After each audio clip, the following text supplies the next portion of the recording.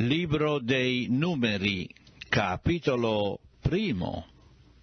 L'Eterno parlò ancora a Mosè nel deserto di Sinai, nella tenda di convegno, il primo giorno del secondo mese, il secondo anno dell'uscita dei figlioli di Israele dal paese d'Egitto, e disse Fate la somma di tutta la radunanza dei figlioli di Israele secondo le loro famiglie, secondo le case dei loro padri, contando i nomi di tutti i maschi uno per uno dall'età di vent'anni in su, tutti quelli che in Israele possano andare alla guerra tu ed Aronne ne farete il censimento secondo le loro schiere, e con voi ci sarà un uomo per tribù, il capo della casa dei suoi padri. Questi sono i nomi degli uomini che staranno con voi. Di Ruben, Elizur, figliolo di Sheduer, di Simeone Shelumiel, figliolo di Zurisha Adadai, di Giuda Nashon, figliolo di Aminadab, di Isaacar Netaneel, figliolo di Zuar, di Zabulon, Eliab, figliolo di Elon, e dei figlioli di Giuseppe, di Efraim, Elishama, figliolo di Amihud di Menasse, Galamiel, figliolo di Pedashur di Beniamino Abidan figliolo di Gideoni, di Dan e Iaser figliolo di Ammishedaddai, di Asher Pegiel figliolo di Ocran, di Gad Eliesaf figliolo di Deuel, di Neftali Hahira figliolo di Enan. Questi furono chiamati dal seno della radunanza i principi delle tribù dei loro padri, i capi delle migliaia di Israele. Mosè ed Aronne presero dunque questi uomini che erano stati designati per nome e convocarono tutta la radunanza il primo giorno del secondo mese e il popolo fu iscritto secondo le famiglie, secondo le case dei padri, contando il numero delle persone dai venti anni in su uno per uno, come l'Eterno gli aveva ordinato, Mosè ne fece il censimento nel deserto di Sinai figliuoli di Ruben, primogenito di Israele, loro discendenti secondo le loro famiglie, secondo le case dei loro padri, contando i nomi di tutti i maschi uno per uno dall'età di vent'anni in su, tutti quelli che potevano andare alla guerra. Il censimento della tribù di Ruben dette la cifra di 46.500 figliuoli di Simeone, loro discendenti secondo le loro famiglie, secondo le case dei loro padri, scritti contando i nomi di tutti i maschi uno per uno, dall'età di vent'anni in su, tutti quelli che potevano andare alla guerra.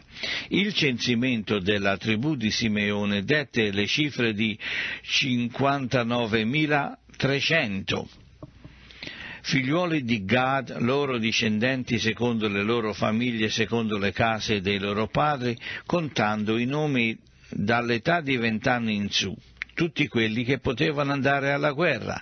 Il censimento della tribù di Gad dette la cifra di 45.650 figliuoli di Giuda, loro discendenti secondo le loro famiglie e secondo le case dei loro padri, contando i nomi dall'età di vent'anni in su, tutti quelli che potevano andare alla guerra. Il censimento della tribù di Giuda dette la cifra di 74.600 figliuoli di Issachar, loro discendenti secondo le loro famiglie, secondo le case dei loro padri, contando i nomi dall'età di vent'anni in su, tutti quelli che potevano andare alla guerra. Il censimento della tribù di Issachar dette la cifra di 54.400 figliuoli di Zabulon, loro discendenti secondo le loro famiglie, secondo le case dei loro padri, contando i nomi dell'età di vent'anni in su, tutti quelli che potevano andare alla guerra. Il censimento della tribù di Zabulon dette la cifra di 57.400 figliuoli di Giuseppe, figliuoli di Efrem, loro discendenti secondo le loro famiglie, secondo le case dei loro padri, contando i nomi dall'età di vent'anni in su, tutti quelli che potevano andare alla guerra. Il censimento della tribù di Efraim dette la cifra di 40.500 figliuoli di Menasse, loro discendenti, secondo le loro famiglie, secondo le case dei loro padri, contando i nomi dall'età di vent'anni in su, tutti quelli che potevano andare alla guerra. Il censimento della tribù di Manasse dette la cifra di 32.200 figliuoli di Beniamino, loro discendenti secondo le loro famiglie, secondo le case dei loro padri, contando i nomi dall'età di vent'anni in su, tutti quelli che potevano andare alla guerra. Il censimento della tribù di Beniamino dette la cifra di 35.400 figliuoli di Dan, loro discendenti secondo le loro famiglie, secondo le case dei loro padri, contando i nomi dall'età di vent'anni in su, tutti quelli che potevano andare alla guerra. Il censimento della tribù di Dan dette la cifra di 62.700 figliuoli di Asher, loro discendenti secondo le loro famiglie, secondo le case dei loro padri, contando i nomi dall'età di vent'anni in su, tutti quelli che potevano andare alla guerra. Il censimento della tribù di Asher dette la cifra di 41.500 i figlioli di Neftali, loro discendenti, secondo le loro famiglie, secondo le case dei loro padri, contando i nomi dall'età di vent'anni in su, tutti quelli che potevano andare alla guerra, il censimento della tribù di Neftali dette la cifra di 53.400. Questi sono quelli di cui Mosè ed Aaron fecero il censimento coi dodici uomini principi di Israele ce n'era uno per ognuna delle case dei loro padri. Così tutti i figlioli di Israele, dei quali fu fatto il censimento secondo le case dei loro padri dall'età di vent'anni in su, cioè tutti gli uomini che in Israele potevano andare alla guerra, tutti quelli dei quali fu fatto il censimento, furono 630.550. Ma i Leviti, come tribù dei loro padri, non furono compresi nel censimento con gli altri, poiché l'Eterno aveva parlato a Mosè dicendo soltanto della tribù di Levi non farai il censimento e ne unirai l'ammontare a quelli dei figlioli di Israele, ma affida ai Leviti la cura del tabernacolo della testimonianza di tutti i suoi utensili, di tutto ciò che gli appartiene. Essi porteranno il tabernacolo e tutti i suoi utensili ne faranno il servizio e staranno accampati intorno al tabernacolo. Quando il tabernacolo dovrà partire, i leviti lo smonteranno, quando il tabernacolo dovrà accamparsi in qualche luogo, i leviti lo rizzeranno e L'estraneo che gli si avvicinerà sarà messo a morte. I figlioli di Israele pianteranno le loro tende ognuno nel suo campo, ognuno vicino alla sua bandiera, secondo le loro schiere, ma i leviti pianteranno le loro attorno al tabernacolo della testimonianza affinché non si accenda l'ira mia contro la radunanza dei figlioli di Israele e i leviti avranno cura del tabernacolo della testimonianza. I figlioli di Israele si conformeranno conformarono in tutto agli ordini che l'Eterno aveva dato a Mosè e fecero così. Libro dei Numeri, capitolo secondo. L'Eterno parlò ancora a Mosè e ad Aaron dicendo i figlioli di Israele s'accamperanno ciascuno vicino alla sua bandiera sotto le insegne delle case dei loro padri, si accamperanno di faccia a tutto intorno alla tenda di convegno. Sul davanti verso oriente s'accamperà la bandiera del campo di Giuda con le sue schiere e il principe dei figlioli di Giuda è Nashon, figliolo di Aminadab. Il suo corpo, secondo il censimento, è di 74.600 uomini.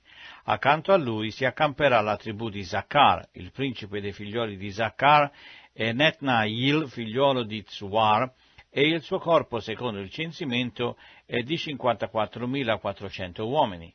Poi la tribù di Zabulon, Il principe dei figlioli di Zabulon è Eliab, figliolo di Elon, e il suo corpo, secondo il censimento, è di 57.400 uomini. Il totale del censimento del campo di Giuda è dunque 186.400 uomini secondo le loro schiere.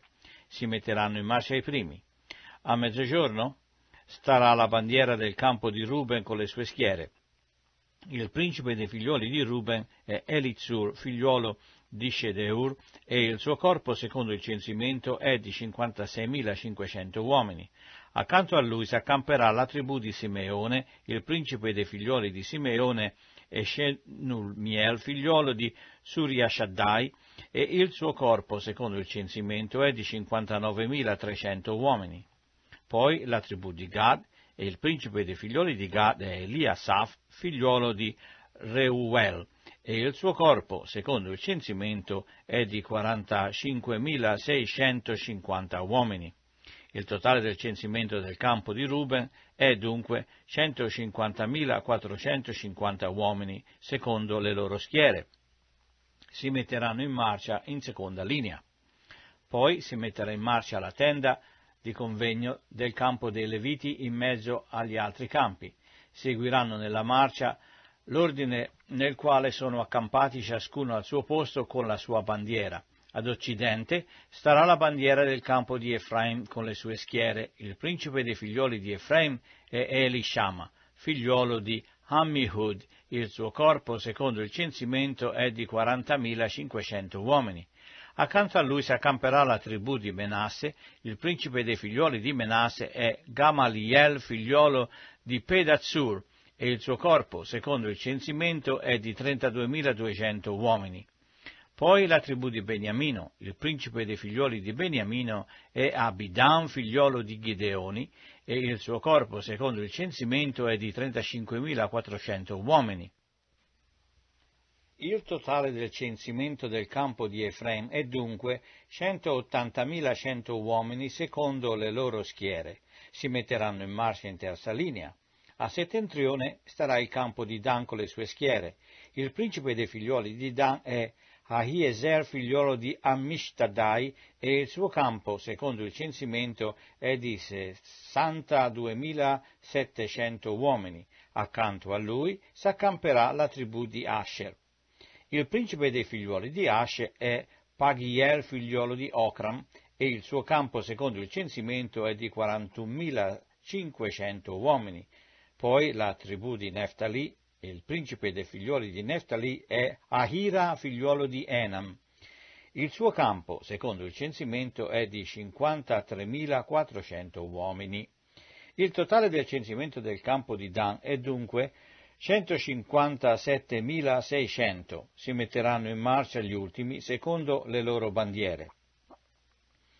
Questi furono i figlioli di Israele, dei quali si fece censimento secondo le case dei loro padri. Tutti gli uomini dei quali si fece censimento e che formarono i campi secondo i loro corpi furono 603.550, ma i Leviti, secondo l'ordine che l'Eterno aveva dato a Mosè, non furono compresi nel censimento coi figlioli di Israele.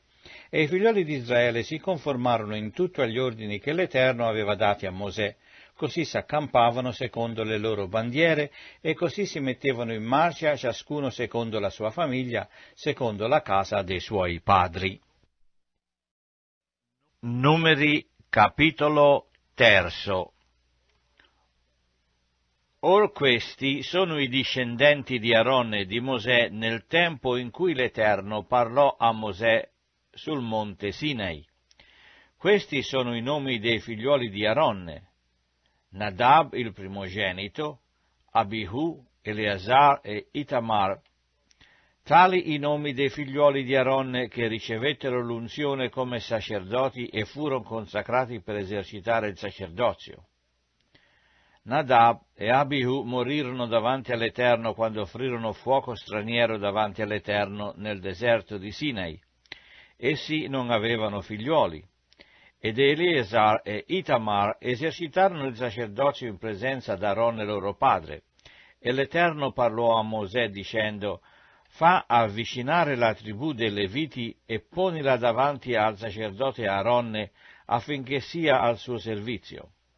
Essi avranno la cura di tutto ciò che è affidato a lui e a tutta la radunanza davanti alla tenda di convegno e faranno così il servizio del tabernacolo. Avranno cura di tutti gli utensili della tenda di convegno e di quando è affidato ai figlioli di Israele e faranno così il servizio del tabernacolo. Tu darai i leviti ad Aronne e ai suoi figlioli, essi gli sono interamente dati di tra i figlioli di Israele. Tu stabilirai Aaron e i suoi figlioli perché esercitano le funzioni del loro sacerdozio. Lo straniero che s'accosterà all'altare sarà messo a morte. E l'Eterno parlò a Mosè dicendo, Ecco, io ho preso i leviti di tra i figlioli di Israele in luogo d'ogni primogenito che apre il seno materno tra i figlioli di Israele. E i leviti saranno miei, poiché ogni primogenito è mio.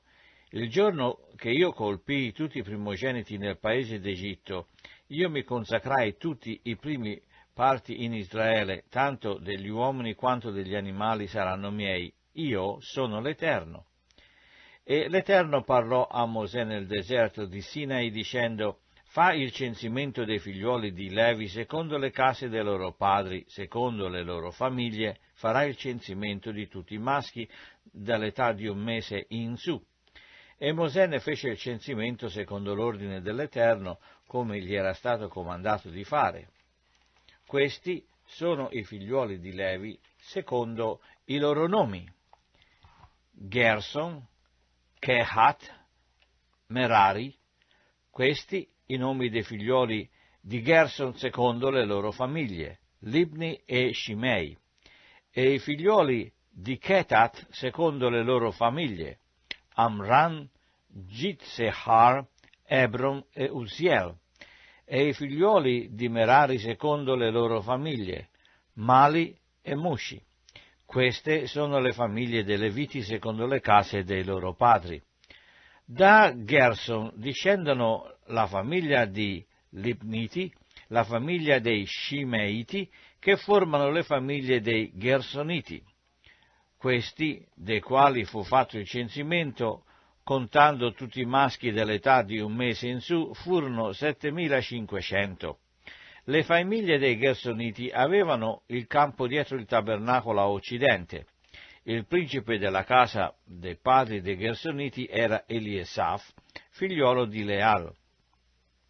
Per quel che concerne la tenda di convegno, i figlioli di Gerson dovevano aver cura del tabernacolo e della tenda, della sua coperta, della portiera, dell'ingresso della tenda di convegno, delle tele del cortile e della portiera dell'ingresso del cortile tutto intorno al tabernacolo e all'altare e dei cordami per tutto il servizio del tabernacolo. Da Kehat discendono le famiglie degli Aramiti, la famiglia degli Gitscheriti, la famiglia degli Ebroniti e la famiglia degli Uzieliti, che formano le famiglie dei Keatiti. Contando tutti i maschi dell'età di un mese in su, furono 8.600 incaricati della cura del santuario. Le famiglie dei figlioli di Kehat avevano il campo al lato meridionale del tabernacolo e il principe della casa dei padri dei Keatiti era Elizafan, figliolo di Uziel.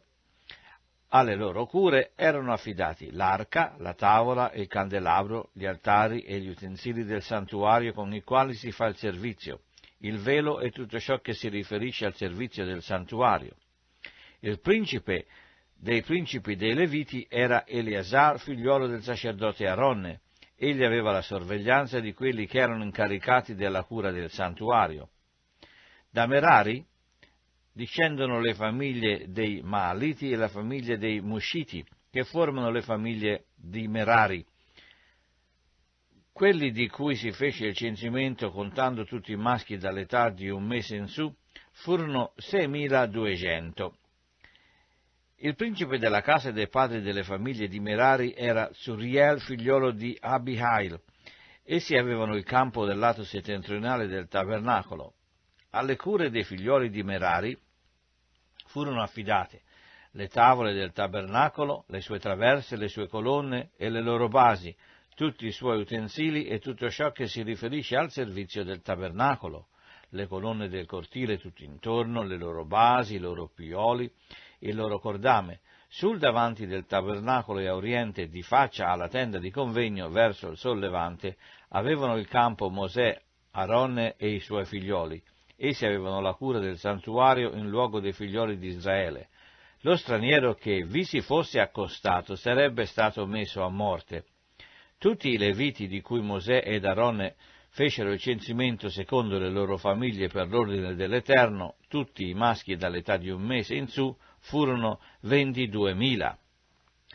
E l'Eterno disse a Mosè, Fai il censimento di tutti i primogeniti maschi tra i figlioli di Israele, dall'età di un mese in su, e fai il conto dei loro nomi.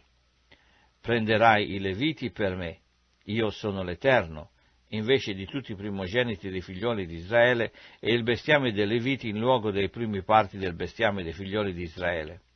E Mosè fece il censimento di tutti i primogeniti tra i figlioli di Israele secondo l'ordine che l'Eterno gli aveva dato, tutti i primogeniti maschi di cui si fece il censimento contando i nomi dell'età di un mese in su furono 22.273. E l'Eterno parlò a Mosè dicendo, Prendi i Leviti in luogo di tutti i primogeniti dei figlioli di Israele e il bestiame dei Leviti in luogo del loro bestiame, e i Leviti saranno miei io sono l'Eterno. Per il riscatto dei 273 primogeniti dei figliuoli di Israele che oltrepassano il numero dei Leviti, prenderai cinque sicli a testa, li prenderai secondo il ciclo del santuario che è di venti ghere. Darai il denaro ad Aronne e ai suoi figlioli per il riscatto di quelli che oltrepassano il numero dei Leviti. E Mosè prese il denaro per il riscatto di quelli che oltrepassavano il numero dei primogeniti riscattati dai Leviti prese il denaro dei primogeniti dei figlioli di Israele, 1365 sicli secondo il ciclo del santuario. E Mosè dette il denaro del riscatto a Aarone e ai suoi figlioli secondo l'ordine dell'Eterno, come l'Eterno aveva ordinato a Mosè. Numeri capitolo quarto L'Eterno parlò ancora a Mosè e ad Aronne dicendo, Fate il conto dei figlioli di Kehat fra i figlioli di Levi, secondo le loro famiglie, secondo le case dei loro padri, dall'età di trent'anni in su fino all'età di cinquant'anni, di tutti quelli che possono assumere un ufficio per far opera della tenda di convegno. Questo è un servizio che i figlioli di Kehat avranno da fare nella tenda di convegno e che concerne le cose santissime. Quando il campo si muoverà, Aaron e i suoi figlioli verranno a smontare il velo di separazione e copriranno con esso l'arca della testimonianza, poi porranno sull'arca una coperta di pelli di delfino, vi stenderanno sopra un panno tutto di stoffa violacea e vi metteranno al posto le stanghe, poi stenderanno un panno violaceo sulla tavola dei panni della presentazione e vi metteranno su i piatti, le coppe, i bacini, i calici, per le libazioni e vi sarà su anche il pane perpetuo. E su queste cose stenderanno un panno scarlato sopra tutto questo, una coperta di pelle di delfino e metteranno le stanghe alla tavola. Poi prenderanno un panno violaceo col quale copriranno il candelabro, le sue lampade, le sue forbici, i suoi smoccolatoi e tutti i suoi vasi d'olio destinati al servizio del candelabro, metteranno il candelabro con tutti i suoi utensili in una coperta di pelli di delfino e lo porteranno sopra un paio di stanghe.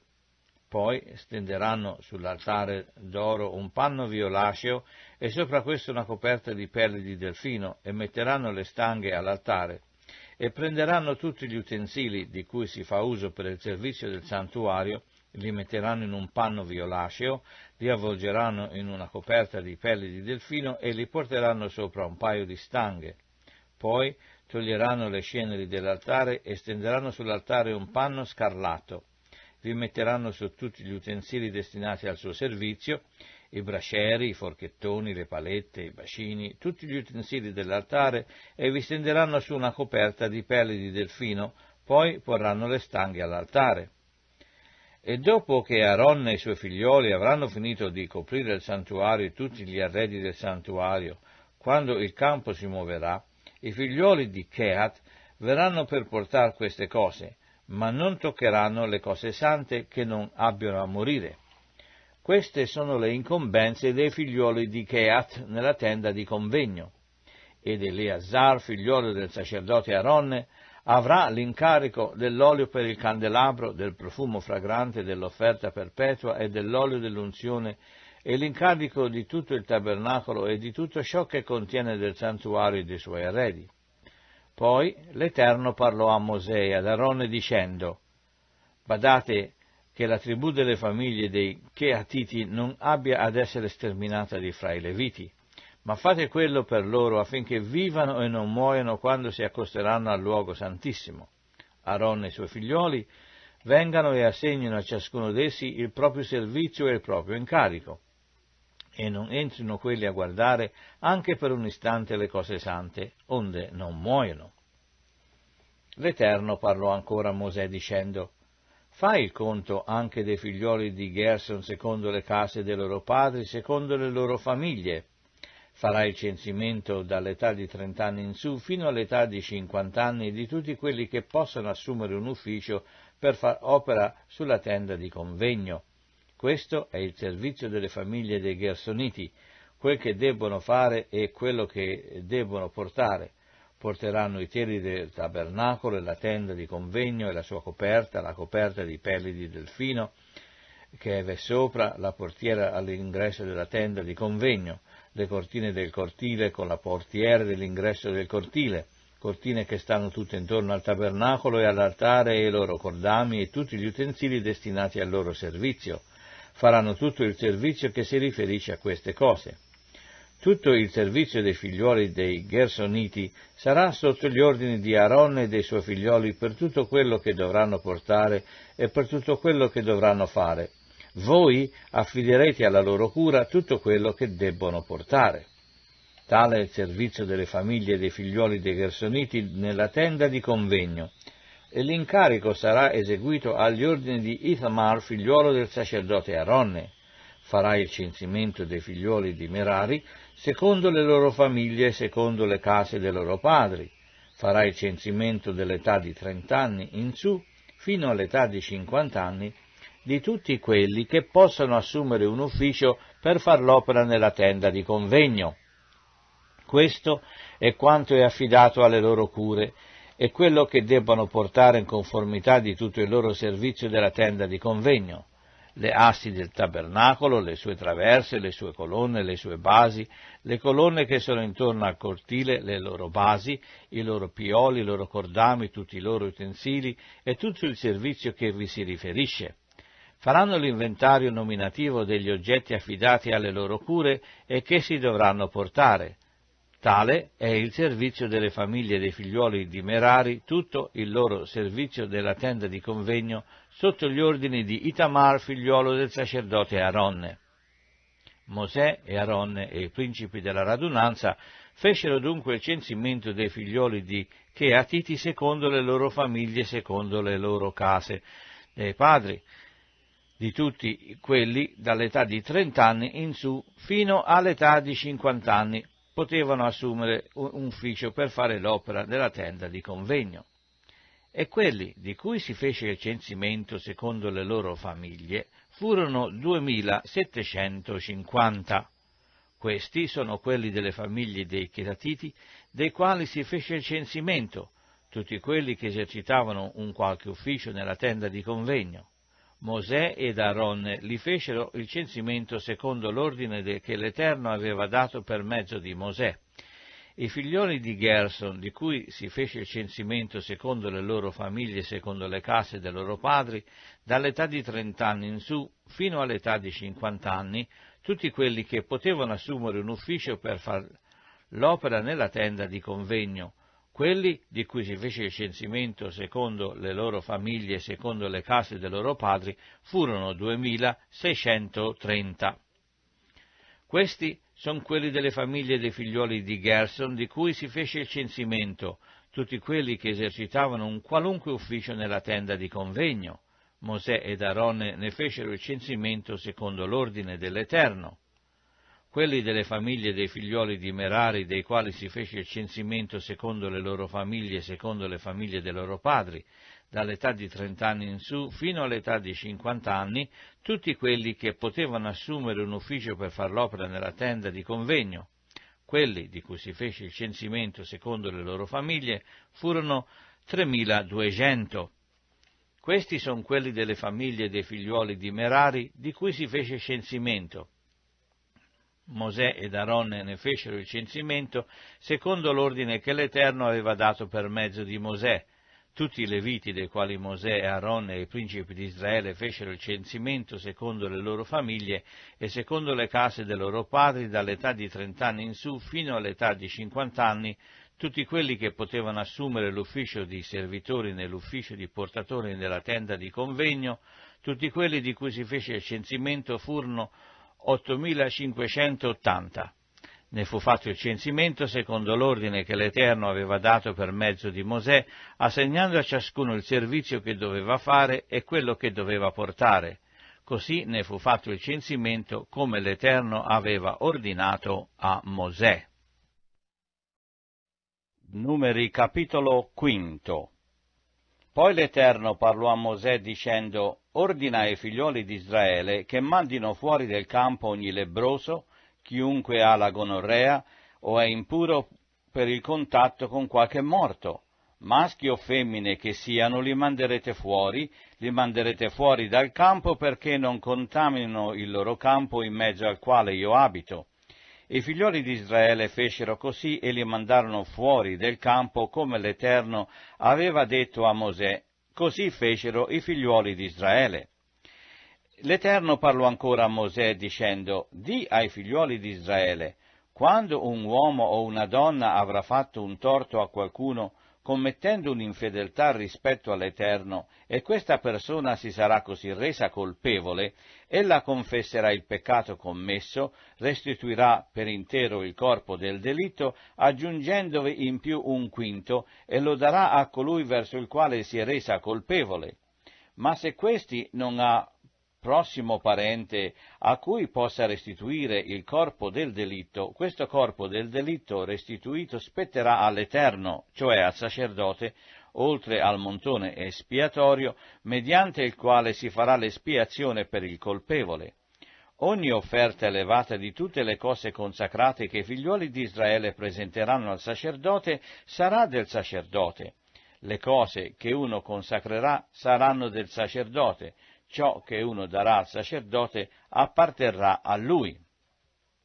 L'Eterno parlò ancora a Mosè dicendo, Parla ai figlioli di Israele e di loro, se una donna si svia dal marito e commette una infedeltà contro di lui, se uno ha relazioni carnali con lei e la cosa è nascosta agli occhi del marito, se ella si è contaminata in segreto senza che vi siano testimoni contro di lei o che ella sia stata colta sul fatto, ove lo spirito di gelosia si impossessi del marito e questi diventi geloso della moglie che si è contaminata, ovvero lo spirito di gelosia si impossessi di lui e questi diventi geloso della moglie che non si è contaminata, quell'uomo condurrà la moglie al sacerdote e porterà un'offerta per lei, un decimo defa di farina d'orzo, non vi spanderà sopra l'olio né vi metterà sopra incenso, perché è un'oblazione di gelosia, un'oblazione commemorativa destinata a ricordare un'iniquità.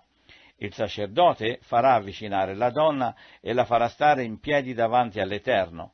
Poi il sacerdote prenderà dell'acqua santa in un vaso di terra, prenderà pure della polvere che è sul suolo del tabernacolo e la metterà nell'acqua. Il sacerdote farà quindi stare la donna in piedi davanti all'Eterno, le scoprirà il capo e porrà in mano di lei l'oblazione commemorativa che è l'oblazione di gelosia e il sacerdote avrà in mano l'acqua amara che reca maledizione.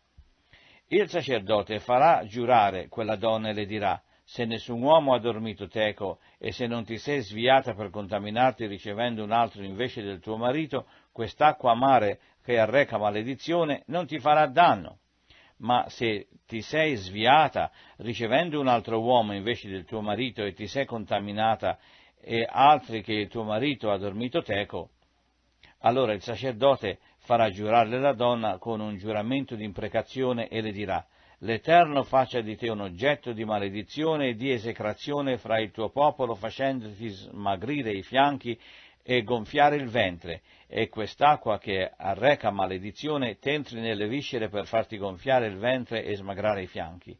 E la donna dirà, Amen, Amen. Poi il sacerdote scriverà queste imprecazioni in un rotolo e le cancellerà con l'acqua amara. Farà bere alla donna quell'acqua amara che arreca maledizione e l'acqua che arreca maledizione entrerà in lei per produrre amarezza e il sacerdote prenderà dalle mani della donna l'oblazione di gelosia, agiterà l'oblazione davanti all'Eterno, lo offrirà sull'altare, e il sacerdote prenderà una manata di un'oblazione eh, come ricordanza e la farà fumare sull'altare, poi farà bere l'acqua alla donna. E quando le avrà fatto bere l'acqua, avverrà che se ella si è contaminata ed ha commesso una infedeltà contro il marito, l'acqua che arreca maledizione entrerà in lei per produrre amarezza, il ventre le si gonfierà e i suoi fianchi smagriranno, e quella donna diventerà un oggetto di maledizione in mezzo al suo popolo. Ma se la donna non si è contaminata ed è pura, sarà riconosciuta innocente e, ed avrà dei figlioli. Questa è la legge relativa alla gelosia per il caso in cui la moglie di uno si svii ricevendo un altro invece del suo marito e si contamini e per il caso in cui lo spirito di gelosia si impossessi del marito e questi diventi geloso della moglie, egli farà comparire sua moglie davanti all'Eterno e il sacerdote le applicherà questa legge integralmente. Il marito sarà immune da colpa, ma la donna porterà la pena della sua iniquità. Numeri capitolo sesto L'Eterno parlò ancora a Mosè dicendo Parla ai figlioli di Israele e di loro quando un uomo o una donna avrà fatto un voto speciale, il voto di nazireato, per consacrarsi all'Eterno, si asterrà dal vino e dalle bevande alcoliche, non berrà aceto fatto di vino né aceto fatto di bevanda alcolica, non berrà liquori tratti dall'uva e non mangerà uva né fresca né secca. Tutto il tempo del suo nazireato non mangerà alcun prodotto della vigna, degli acini, della buccia tutto il tempo del suo voto nazireato, il rasoio non passerà sul suo capo fino a che siano compiuti i giorni per i quali egli si è consacrato all'Eterno. Sarà santo, si lascerà crescere liberamente i capelli sul capo. Tutto il tempo che egli è consacrato all'Eterno non si accosterà a corpo morto.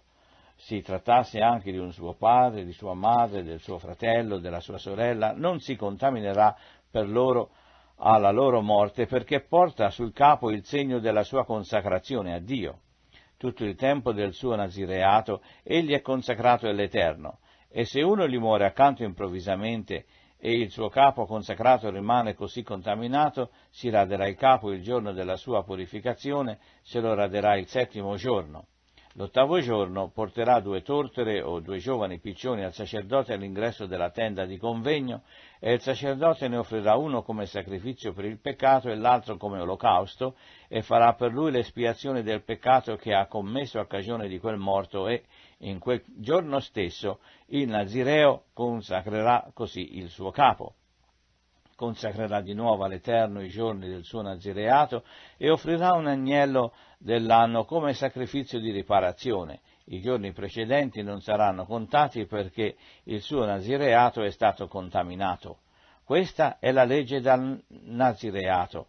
Quando i giorni del suo nazireato saranno compiuti, lo si farà venire all'ingresso della tenda di convegno ed egli presenterà la sua offerta all'Eterno, un agnello dell'anno senza difetto per l'olocausto, una pecora dell'anno senza difetto per il sacrificio per il peccato e un montone senza difetto per il sacrificio di azioni di grazie, un paniere di pane azzimi fatti con fior di farina e di focacce intrise con olio, di gallette senza lievito, unte d'olio, insieme con l'oblazione e le libazioni relative. Il sacerdote presenterà queste cose davanti all'Eterno e offrirà il suo sacrificio per il peccato e il suo olocausto offrirà il montone come sacrificio di azioni di grazia all'Eterno, col paniere dei pani azzimi, e il sacerdote offrirà pure l'oblazione e la libazione. Il Nazireo raderà all'ingresso della tenda di convegno il suo capo consacrato, prenderà i capelli del suo capo consacrato e li metterà sul fuoco che è sotto il sacrificio di azioni di grazie. Il sacerdote prenderà la spalla del montone quando sarà cotta, una focaccia non lievitata dal paniere, una galletta senza lievito, e le porrà nelle mani del Nazireo dopo che questi avrà raso il suo capo consacrato. Il sacerdote le agiterà come offerta agitata davanti all'Eterno, è cosa santa che appartiene al sacerdote assieme al petto dell'offerta agitata e della spalla dell'offerta elevata. Dopo questo il Nazireo potrà bere del vino, Tale la legge relativa a colui che ha fatto voto di nazireato, tale la sua offerta all'Eterno per il suo nazireato, oltre quello che i suoi mezzi gli permetteranno di fare. Egli agirà secondo il voto che avrà fatto, conformemente alla legge del suo nazireato. L'Eterno parlò ancora a Mosè dicendo, Parla ad Aronne e ai suoi figliuoli e di loro, voi benedirete così i figliuoli di Israele, direte loro, L'Eterno ti benedica e ti guardi. L'Eterno faccia risplendere il suo volto su di te e ti sia propizio. L'Eterno volga verso di te il suo volto e ti dia pace. Così metteranno il mio nome sui figlioli di Israele. Io li benedirò. Capitolo settimo il giorno che Mosè ebbe finito di rizzare il tabernacolo e l'ebbe unto e consacrato con tutti i suoi utensili, quando ebbe rizzato l'altare con tutti i suoi utensili e li ebbe unti e consacrati, i principi di Israele, capi delle casse dei loro padri, che erano i principi delle tribù e avevano presieduto al censimento, presentarono un'offerta e la portarono davanti all'Eterno. Sei carri lettiga e dodici buoi, vale a dire un carro per due principi e un bove per ogni principe, e li offrirono davanti al tabernacolo. E l'Eterno parlò a Mosè dicendo, Prendeli da loro per impiegarli al servizio della tenda di convegno e dalli ai Leviti, a ciascuno secondo le sue funzioni. Mosè prese dunque i carri e i buoi e li dette ai Leviti, dette due carri e quattro buoi ai figlioli di Gerson secondo le loro funzioni, dette quattro carri e otto buoi ai figlioli di Merari secondo le loro funzioni sotto la sorveglianza di Itmar, figliolo del sacerdote Aronne, ma ai figlioli di Kehat non ne diede punti perché avevano il servizio degli oggetti sacri e dovevano portarli sulle spalle. E i principi presentarono la loro offerta per la dedicazione dell'altare il giorno che esso fu unto. I principi presentarono la loro offerta davanti all'altare e l'Eterno disse a Mosè, i principi presenteranno la loro offerta uno per giorno per la dedicazione dell'altare.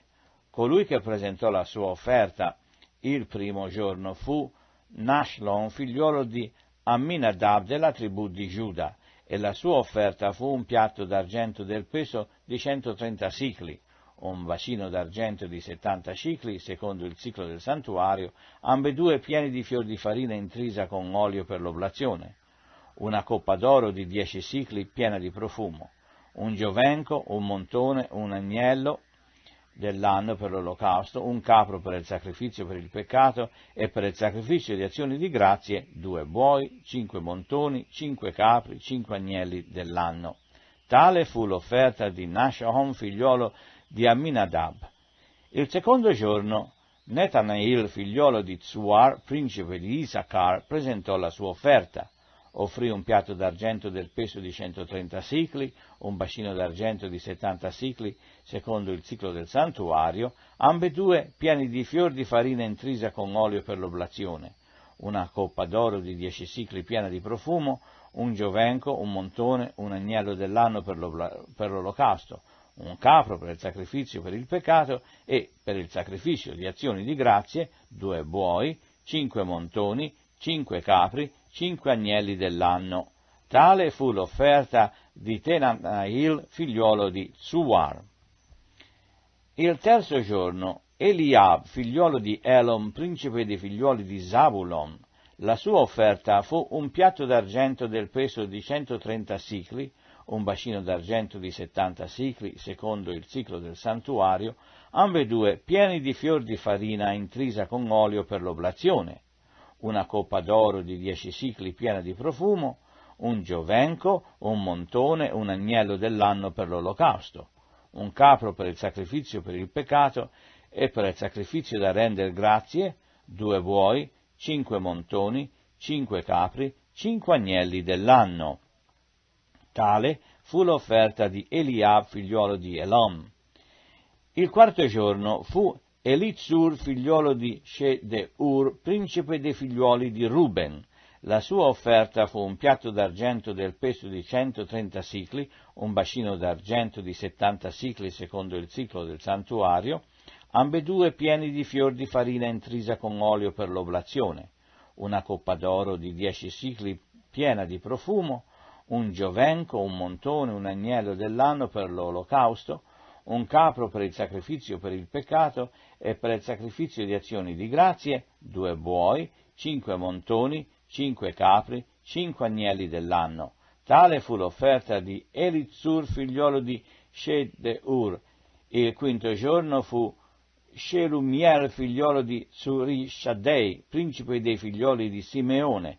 La sua offerta fu un piatto d'argento del peso di 130 sicli, un bacino d'argento di 70 sicli secondo il ciclo del santuario, ambedue pieni di fior di farina intrisa di olio per l'obleazione, una coppa d'oro di 10 sicli piena di profumo, un giovenco, un montone, un agnello dell'anno per l'olocausto, un capro per il sacrificio per il peccato e per il sacrificio di azioni di grazie due buoi, cinque montoni, cinque capri, cinque agnelli dell'anno. Tale fu l'offerta di Shelumier, figliolo di Surishaddai.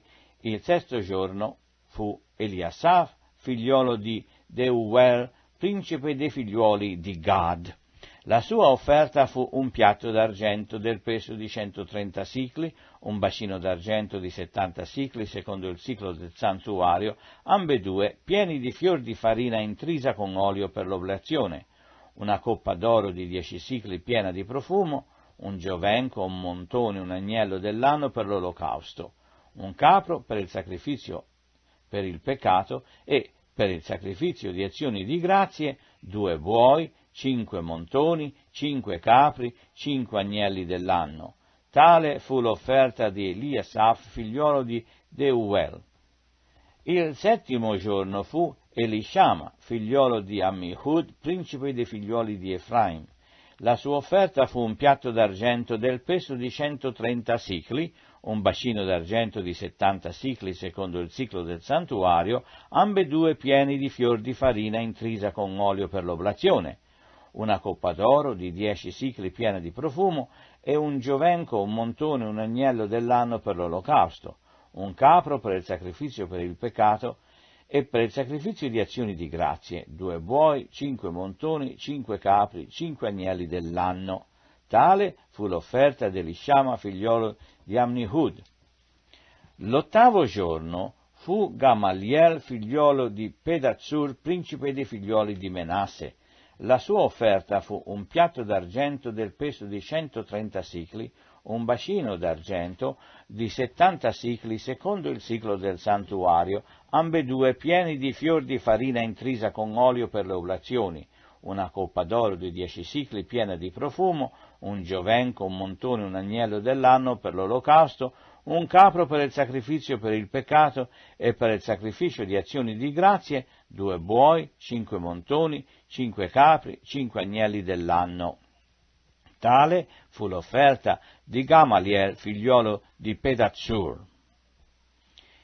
Il nono giorno fu Abidan, figliolo di Gideoni, principe dei figlioli di Beniamino, la sua offerta fu un piatto d'argento del peso di 130 sicli, un bacino d'argento di 70 sicli secondo il ciclo del santuario, ambedue pieni di fior di farina intrisa con olio per l'oblazione, una coppa d'oro di 10 sicli piena di profumo, un giovenco, un montone, un agnello dell'anno per l'olocausto, un capro per il sacrificio per il peccato e per il sacrificio di azioni di grazie, due buoi, cinque montoni, cinque capri, cinque agnelli dell'anno. Tale fu l'offerta di Abidan, figliolo di Gideoni. Il decimo giorno fu Ahizer, figliolo di Ammishaddai, principe dei figlioli di Dan. La sua offerta fu un piatto d'argento del peso di 130 sicli, un bacino d'argento di 70 sicli secondo il ciclo del santuario, ambedue pieni di fior di farina intrisa con l'olio per l'oblazione, una coppa d'oro di dieci sicli, piena di profumo, un giovenco, un montone, un agnello dell'anno per l'olocausto, un capro per il sacrificio per il peccato e per il sacrificio di azioni di grazie, due buoi, cinque montoni, cinque capri, cinque agnelli dell'anno.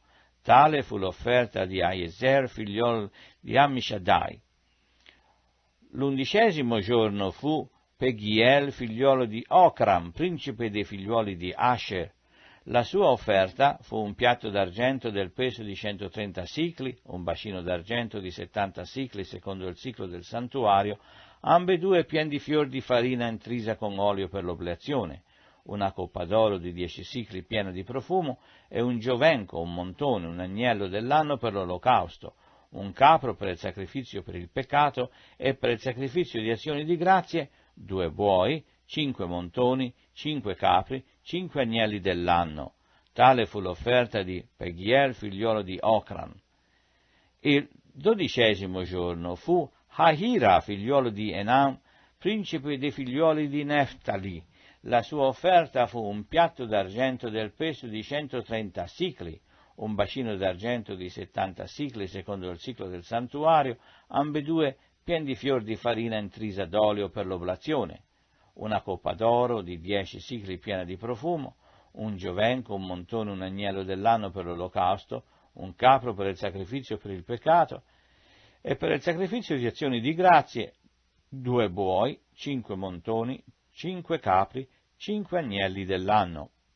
Tale fu l'offerta di Ahira, figliolo di Enam.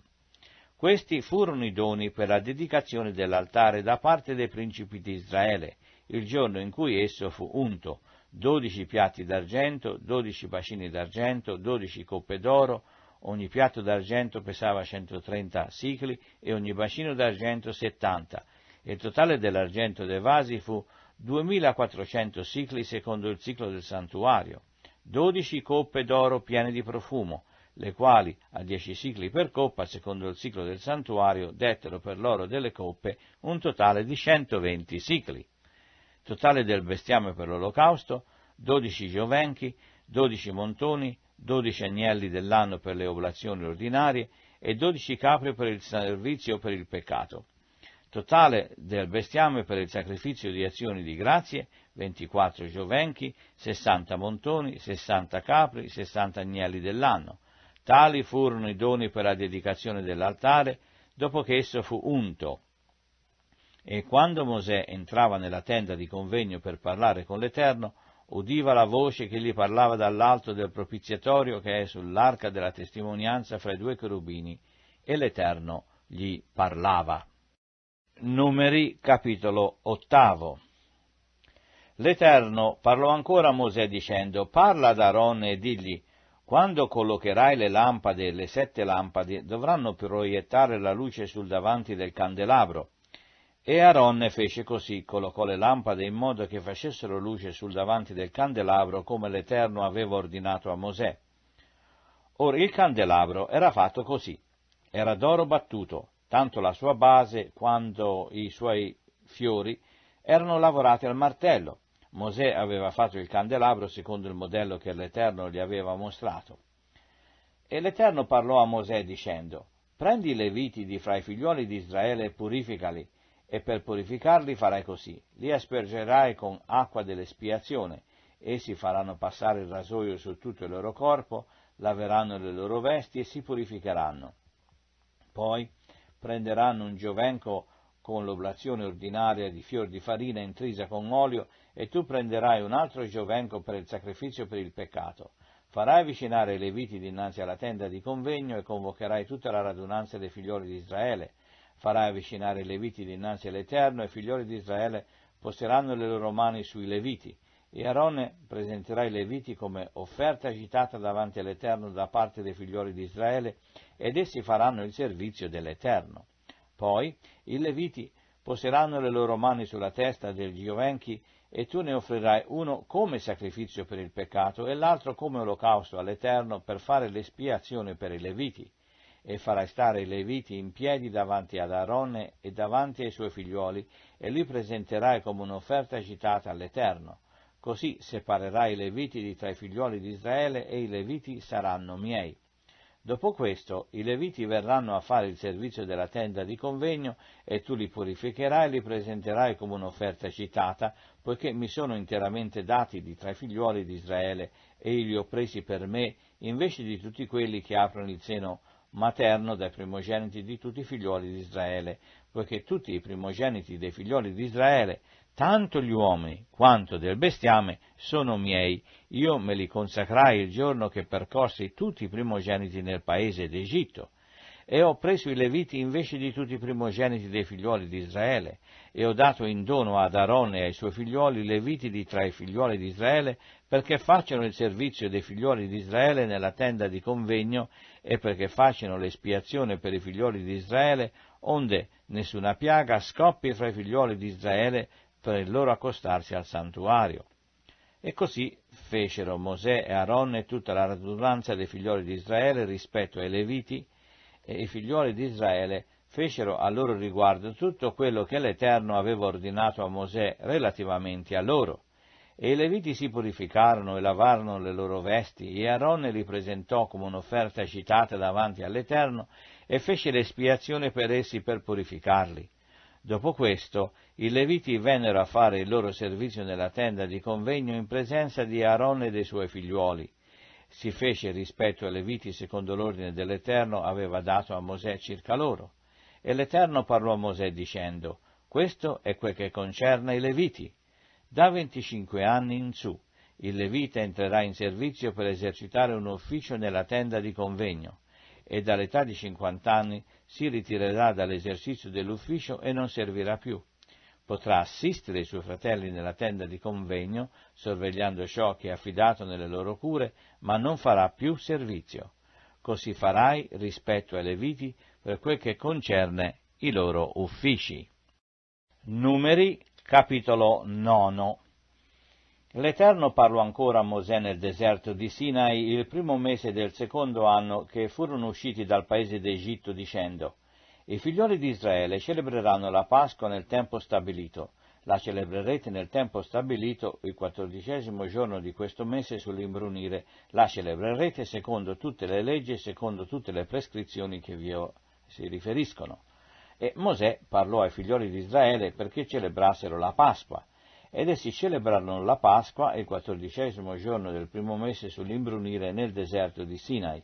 I figlioli di Israele si conformarono a tutti gli ordini che l'Eterno aveva dato a Mosè. Or v'erano degli uomini che, essendo impuri perché avevano toccato un morto, non potevano celebrare la Pasqua in quel giorno. Si presentarono in quello stesso giorno davanti a Mosè e davanti ad Aronne, e quegli uomini dissero a Mosè, noi siamo impuri per aver toccato un morto, perché ci sarebbe di tolto di poter consacrare l'offerta all'Eterno al tempo stabilito in mezzo ai figlioli di Israele? E Mosè rispose loro, aspettate e sentirò quel che l'Eterno ordinerà a vostro riguardo. E l'Eterno parlò a Mosè dicendo, parla ai figlioli di Israele di loro, se uno di voi o dei vostri discendenti sarà impuro per il contatto con un morto o sarà lontano in viaggio, celebrerà lo stesso la Pasqua in onore dell'Eterno. La celebreranno il quattordicesimo giorno del secondo mese sull'imbrunire, la mangeranno con del pane senza lievito e con delle erbe amare. Non ne lasceranno nulla di resto fino al mattino e non ne spezzeranno alcun osso. La celebreranno secondo le leggi della Pasqua. Ma colui che è puro, che non è in viaggio e che s'astiene dal celebrare la Pasqua, quel tale sarà sterminato di fra il suo popolo, siccome non ha presentato l'offerta all'Eterno nel tempo stabilito, quel tale porterà la pena del suo peccato, e se uno straniero che soggiorna tra voi celebra la Pasqua dell'Eterno, si conformerà alla legge e alle prescrizioni della Pasqua. Avrete un'unica legge per lo straniero e per il nativo del paese. Or il giorno in cui il tabernacolo fu eretto, la nuvola coprì il tabernacolo, la tenda della testimonianza, e dalla sera fino alla mattina aveva sul tabernacolo l'aspetto di un fuoco. Così avveniva sempre. La nuvola copriva il tabernacolo e di notte aveva l'apparenza di un fuoco, e tutte le volte che la nuvola s'alzava di sulla tenda, i figliuoli di Israele si mettevano in cammino dove la nuvola si fermava, qui i figliuoli di Israele si accampavano. I figlioli di Israele si mettevano in cammino all'ordine dell'Eterno e all'ordine dell'Eterno si accampavano, rimanevano accampati tutto il tempo che la nuvola restava sul tabernacolo e quando la nuvola rimaneva per molti giorni sul tabernacolo, i figlioli di Israele osservavano le prescrizioni dell'Eterno e non si muovevano. E se avveniva che la nuvola rimanesse pochi giorni sul tabernacolo all'ordine dell'Eterno, rimanevano accampati e all'ordine dell'Eterno si mettevano in cammino e se la nuvola si fermava dalla sera alla mattina e si alzava la mattina e si mettevano in cammino, o se dopo un giorno e una notte la nuvola si alzava, si mettevano in cammino. Se la nuvola rimaneva ferma sul tabernacolo due giorni o un mese o un anno, i figlioli di Israele rimanevano accampati e non si muovevano, ma quando si alzava si mettevano in cammino. All'ordine dell'Eterno si accampavano e all'ordine dell'Eterno si mettevano in cammino, osservando le prescrizioni dell'Eterno secondo l'ordine trasmesso dall'Eterno per mezzo di Mosè. Numeri capitolo decimo L'Eterno parlò ancora a Mosè dicendo, Fatti due trombe d'argento, le farei d'argento battuto e ti serviranno per convocare la radunanza e per far muovere i campi al suon d'esse tutta la radunanza si raccoglierà presso di te all'ingresso della tenda di convegno. Al suono d'una tromba sola, i principi, i capi delle migliaia di Israele si muoveranno presso di te. Quando suonerete a lungo e forti squilli, i campi che sono a levante si metteranno in cammino. Quando suonerete una seconda volta a lunghi e forti squilli, i campi che si trovano a mezzogiorno si metteranno in cammino. Si suonerà a lunghi e forti squilli quando dovranno mettersi in cammino. Quando deve essere convocata la radunanza, suonerete, ma non a lunghi e forti squilli. E i sacerdoti figliuoli d'Aaronne suoneranno le trombe, sarà una legge perpetua per voi e per i vostri discendenti. Quando nel vostro paese andrete alla guerra contro il nemico che vi attaccherà, suonerete a lunghi e forti squilli con le trombe e sarete ricordati dinanzi all'Eterno al vostro Dio e sarete così liberati dai vostri nemici. Così pure nei vostri giorni di gioia, nelle vostre solennità e al principio dei vostri mesi, suonerete con le trombe quando offrite i vostri olocausti e i vostri sacrifici di azioni di grazia, ed esse vi faranno ricordare nel cospetto del vostro Dio. Io sono l'Eterno, il vostro Dio. Ora venne che il secondo anno, il secondo mese, il ventesimo giorno del mese, la nuvola s'alzò di sopra il tabernacolo della testimonianza, e i figlioli di Israele partirono dal deserto di Sinai secondo l'ordine fissato per le loro marce, e la nuvola si fermò nel deserto di Paran.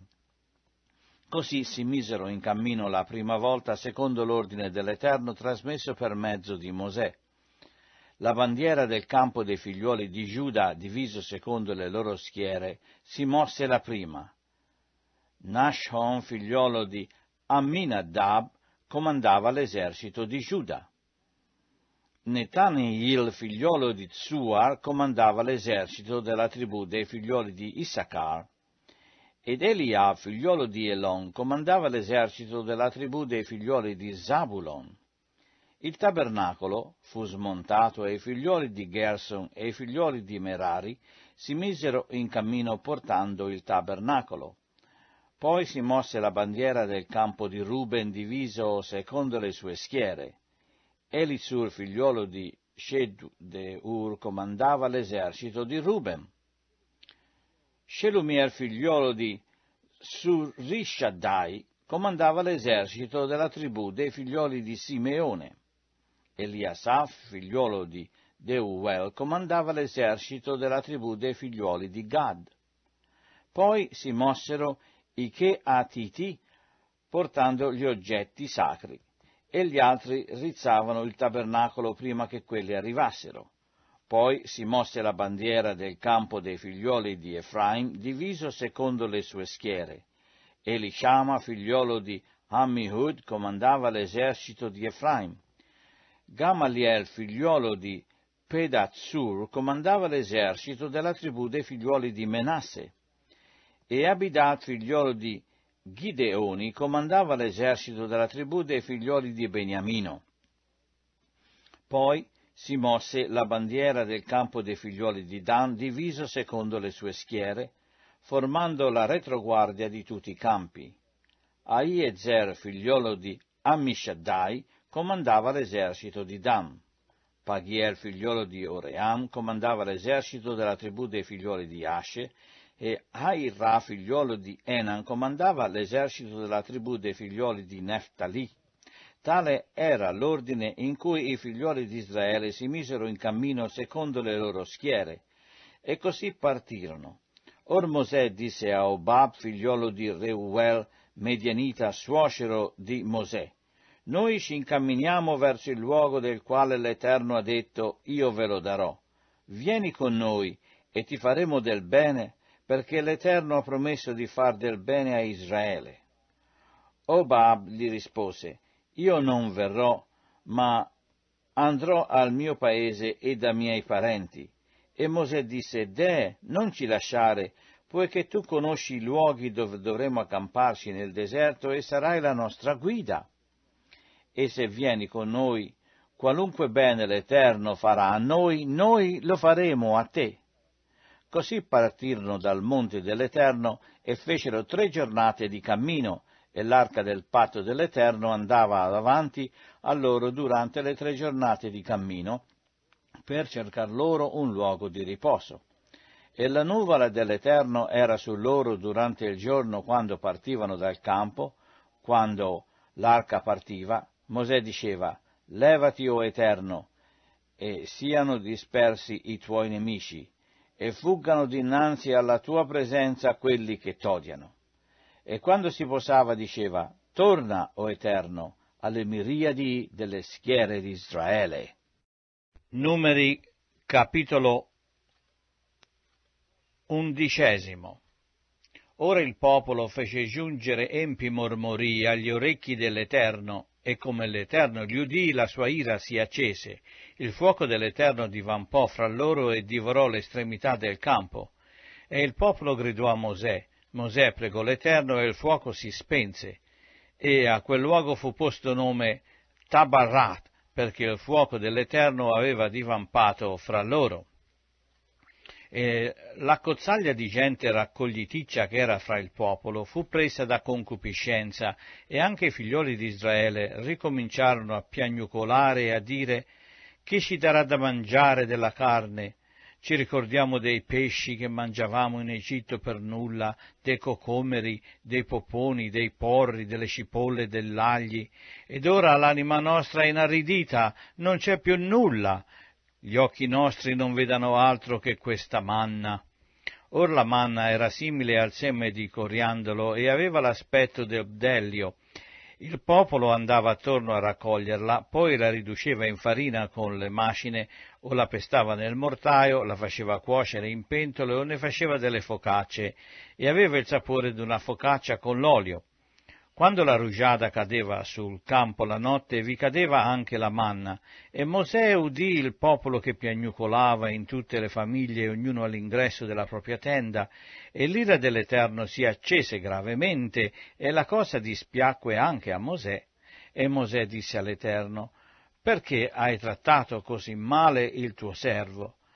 Perché non ho io trovata grazia agli occhi tuoi che tu m'abbia messo addosso il carico di tutto questo popolo? L'ho forse concepito io tutto questo popolo? O l'ho io forse dato alla luce io, che tu mi dica portalo sul tuo seno come il balio porta il bambino lattante fino al paese che tu hai promesso con giuramento ai suoi padri? Donde avrei io della carne da dare a tutto questo popolo, poiché piagnucola dietro di me dicendo dacci da mangiare della carne? Io non posso da me solo portare tutto questo popolo, è un peso troppo grave per me. Se mi vuoi trattare così, uccidimi, ti prego, uccidimi se ho trovato grazia agli occhi tuoi e che io non vegga la mia sventura. E l'Eterno disse a Mosè, radunami settanta uomini degli anziani di Israele, conosciuti da te come anziani del popolo e come aventi autorità sovresso, conducili alla tenda di convegno e si presentino con te.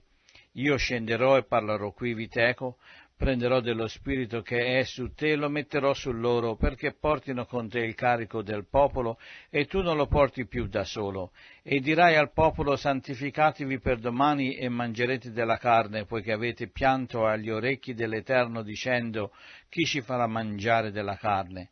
Stavamo pur bene in Egitto. Ebbene l'Eterno vi darà della carne e voi ne mangerete e ne mangerete non per un giorno né per due giorni, non per cinque giorni né per dieci giorni, non per venti giorni, ma per un mese intero finché vi esca per le narici e vi faccia nausea, poiché avete rigettato l'Eterno che è in mezzo a voi e avete pianto davanti a lui dicendo perché mai siamo usciti dall'Egitto?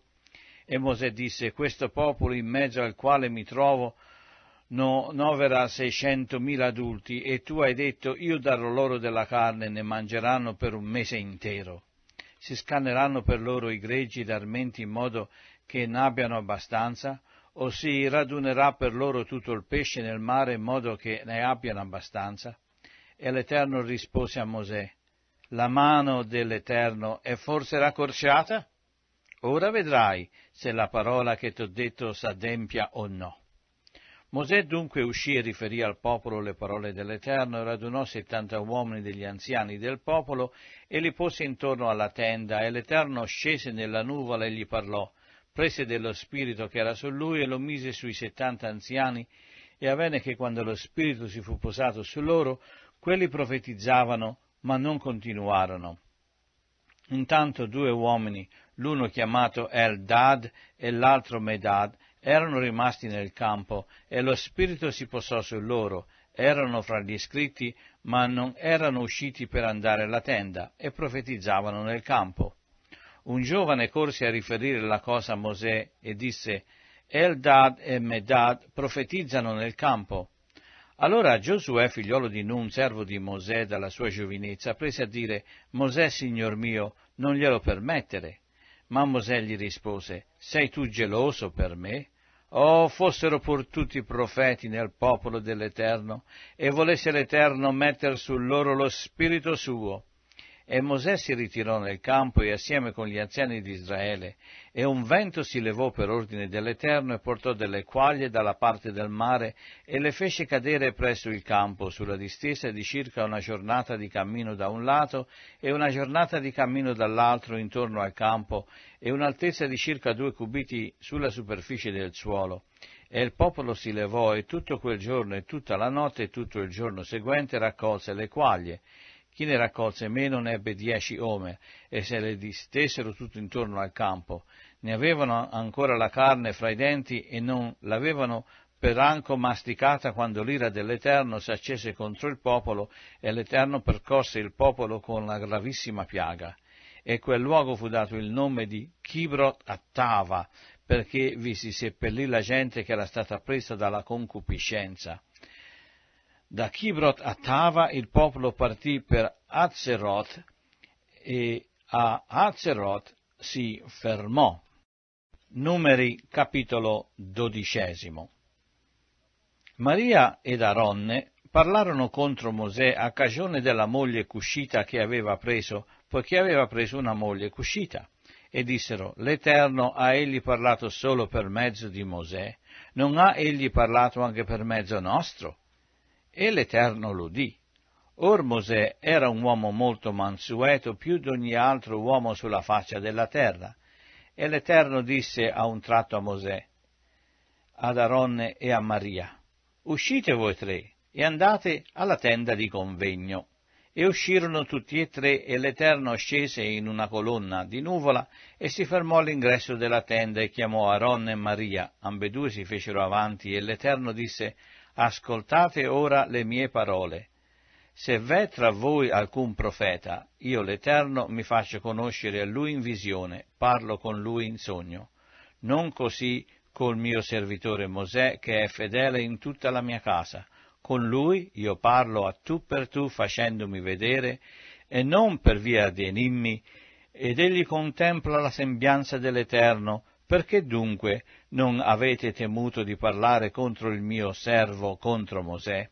E l'ira dell'Eterno s'accese contro di loro, ed egli se ne andò, e la nuvola si ritirò di sopra della tenda, ed ecco che Maria era lebrosa, bianca come neve. Aaronne guardò Maria, ed ecco era lebrosa. E Aaronne disse a Mosè, Deh, Signor mio, non ci far portare la pena di peccato che abbiamo stoltamente commesso e di cui siamo colpevoli, Deh, che ella non sia come il bimbo nato morto, la cui carne è già mezza consumata quando esce dal seno materno. E Mosè gridò all'Eterno dicendo, Guariscila, o oh Dio, te ne prego. E l'Eterno rispose a Mosè, Se suo padre le avesse sputato in viso, non ne porterebbe ella vergogna per sette giorni? Stia dunque rinchiusa fuori del campo sette giorni, poi vi sarà di nuovo ammessa. Maria dunque fu rinchiusa fuori del campo sette giorni e il popolo non si mise in cammino perché Maria non fu riammessa al campo. Poi il popolo partì da Azeroth e si accampò nel deserto di Param. Numeri capitolo tredicesimo L'Eterno parlò a Mosè dicendo, manda degli uomini ad esplorare il paese di Canaan che io do ai figlioli di Israele. Mandate un uomo per ogni tribù dei loro padri, siano tutti dei loro principi. E Mosè mandò dal deserto di Paran, secondo l'ordine dell'Eterno, quegli uomini erano tutti capi dei figlioli di Israele. E questi erano i loro nomi. Per la tribù di Ruben, Shumua, figliolo di Zacur. Per la tribù di Simeone, Shafat, figliolo di Hori.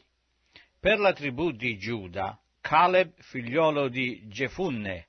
Per la tribù di Issachar, Igal, figliolo di Giuseppe, per la tribù di Efraim, Oscea, figliolo di Num, per la tribù di Beniamino, Palti, figliolo di Raffu, per la tribù di Zabulon, Gadiel, figliolo di Sodi, per la tribù di Giuseppe, cioè per la tribù di Menasse, Gadi, figliolo di Susi, per la tribù di Dan, Ammiel, figliolo di Gemalli, per la tribù di Asher, Setur figliuolo di Michael, per la tribù di Neftali, Nabi figliuolo di Vofsi, per la tribù di Gad, Gerual figliuolo di Machi. Tali i nomi degli uomini che Mosè mandò a esplorare il paese. E Mosè dette a Oscea, figliuolo di Nun, il nome di Giosuè. Mosè dunque li mandò ad esplorare il paese di Canaan e disse loro, Andate su di qua per il mezzogiorno, poi salirete sui monti e vedrete che paese sia, che popolo l'abiti, se è forte o debole, se poco o molto numeroso, come sia il paese che abita, se buono o cattivo, e come siano le città dove abita, eh, se siano degli accampamenti o dei luoghi fortificati, e come sia il terreno, se grasso o magro, se vi siano alberi o no. Abbiate coraggio e portate dei frutti del paese. Ora è il tempo che cominciava a maturare l'uva. Quelli dunque salirono ed esplorarono il paese dal deserto di Zin fino a Rehob sulla via di Amat.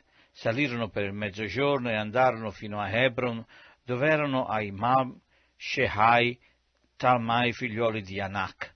Or Hebron era stata edificata sette anni prima di Zoa in Egitto, e giunsero fino alla valle d'Eschol, dove tagliarono un tralcio con un grappolo d'uva che portarono in due come una stanga, e presero anche delle melegrane e dei fichi.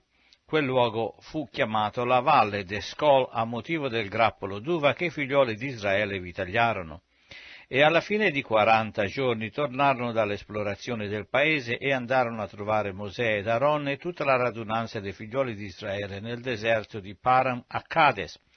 Riferirono ogni cosa a loro e tutta la radunanza e mostrarono loro i frutti del paese e fecero il loro racconto dicendo noi arrivammo nel paese dove tu ci mandasti ed è davvero un paese dove scorre il latte e il miele ed ecco dei suoi frutti.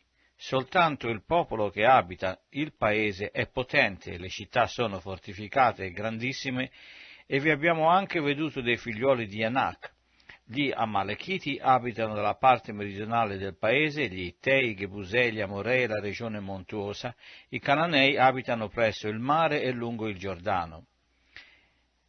E Caleb calmò il popolo che mormorava contro Mosè e disse, saliamo pure e conquistiamo il paese, poiché possiamo benissimo soggiogarlo. Ma gli uomini che erano andati con lui dissero, noi non siamo capaci di salire contro questo popolo perché è più forte di noi e screditarono presso i figlioli di Israele il paese che avevano esplorato, dicendo il paese che abbiamo attraversato per esplorarlo è un paese che divora i suoi abitanti, e tutta la gente che vi abbiamo veduta è gente d'alta statura, e abbiamo visto i giganti, i figlioli di Anak, della razza dei giganti, aspetto dei quali ci pareva d'essere locuste, e tali parevamo a loro. Numeri capitolo Quattordicesimo. Allora tutta la radunanza alzò la voce e diede in alte grida, e il popolo pianse tutta quella notte, e tutti i figlioli di Israele mormoravano contro Mosè e contro Aronne e tutta la radunanza, e disse loro, fossimo pur morti nel paese d'Egitto, o fossimo pur morti in questo deserto, e perché ci mena l'Eterno in questo paese dove cadremo per la spada? Le nostre mogli e i nostri piccini vi saranno preda del nemico, non sarebbe egli meglio per noi tornare in Egitto? E si dissero l'un l'altro, nominiamoci un capo e torniamo in Egitto. Allora Mosè ed Aaron si prostrarono a terra dinanzi a tutta l'assemblea riunita dei figlioli di Israele, e Giosuè figliolo di Nun e Caleb figliolo di Gefunne, che erano di quelli che avevano esplorato il paese, si stracciarono le vesti e parlarono così a tutta la radunanza dei figlioli di Israele. Il paese che abbiamo attraversato per esplorarlo è un paese buono, buonissimo. Se l'Eterno ci è favorevole, ci introdurrà in quel paese e ce lo darà. È un paese dove scorre il latte e il miele. Soltanto non vi ribellate all'Eterno, non abbiate paura del popolo di quel paese, poiché ne faremo un nostro pascolo. L'ombra che li copriva si è ritirata e l'Eterno è con noi. Non ne abbiate paura. Allora tutta la radunanza parlò di lapidarli, ma la gloria dell'Eterno apparve sulla tenda di convegno e tutti i figlioli di Israele. E l'Eterno disse a Mosè, fino a quanto mi disprezzerà questo popolo? E fino a quando non avranno fede in me dopo tutti i miracoli che ho fatto in mezzo a loro? Io li colperò con la peste e lo distruggerò, ma farò di te una nazione più grande e più potente di lui. E Mosè disse all'Eterno, ma ludranno gli egiziani di mezzo ai quali tu hai fatto salire questo popolo per la tua potenza, e la cosa sarà risaputa dagli abitanti di questo paese. Essi hanno udito che tu, o Eterno, sei nel mezzo di questo popolo, che apparisci loro faccia a faccia e che la tua nuvola si ferma sopra di loro e che cammini davanti a loro di giorno una colonna di nuvola e la notte in una colonna di fuoco. Ora, se fai perire questo popolo come un sol uomo, le nazioni che hanno udito la tua fama diranno, siccome l'Eterno non è stato capace di far entrare questo popolo nel paese che aveva giurato di dargli, li ha scannati nel deserto. Ed ora si mostri, ti prego, la potenza del Signore nella sua grandezza, come tu hai promesso dicendo, l'Eterno è lento all'ira e di gran benignità. Egli perdona l'iniquità e il peccato, ma non lascia impunito il colpevole e punisce l'iniquità dei padri sui figlioli fino alla terza e alla quarta generazione. De perdona l'iniquità di questo popolo secondo la grandezza della tua benignità, nel modo che hai perdonato questo popolo dall'Egitto fino a qui. E l'Eterno disse, io perdono come tu hai chiesto, ma come è vero che io vivo, tutta la terra sarà ripiena della gloria dell'Eterno, e tutti quegli uomini che hanno veduto la mia gloria e i miracoli che ho fatto in Egitto e nel deserto, e nonostante m'hanno tentato già dieci volte e non hanno ubbidito alla mia voce, certo non vedranno il paese che promisi con giuramento ai loro padri nessuno di quelli che m'hanno disprezzato lo vedrà, ma il mio servo Caleb, siccome è stato animato da un altro spirito e m'ha seguito appieno, io lo introdurrò nel paese nel quale è andato e la sua progenie lo possederà.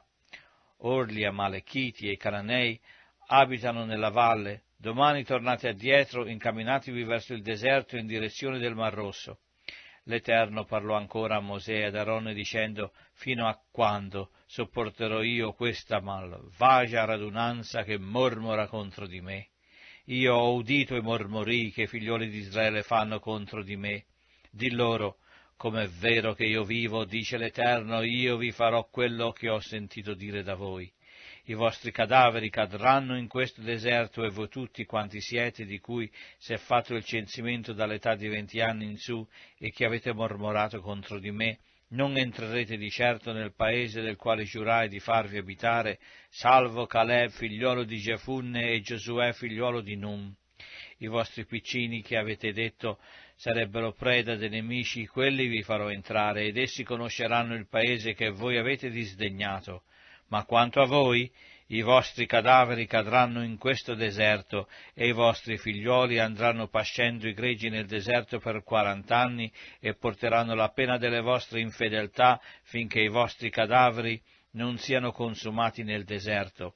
Come avete messo quaranta giorni ad esplorare il paese, porterete la pena delle vostre iniquità quarant'anni, un anno per ogni giorno, e saprete che cosa sia incorrere nella mia disgrazia.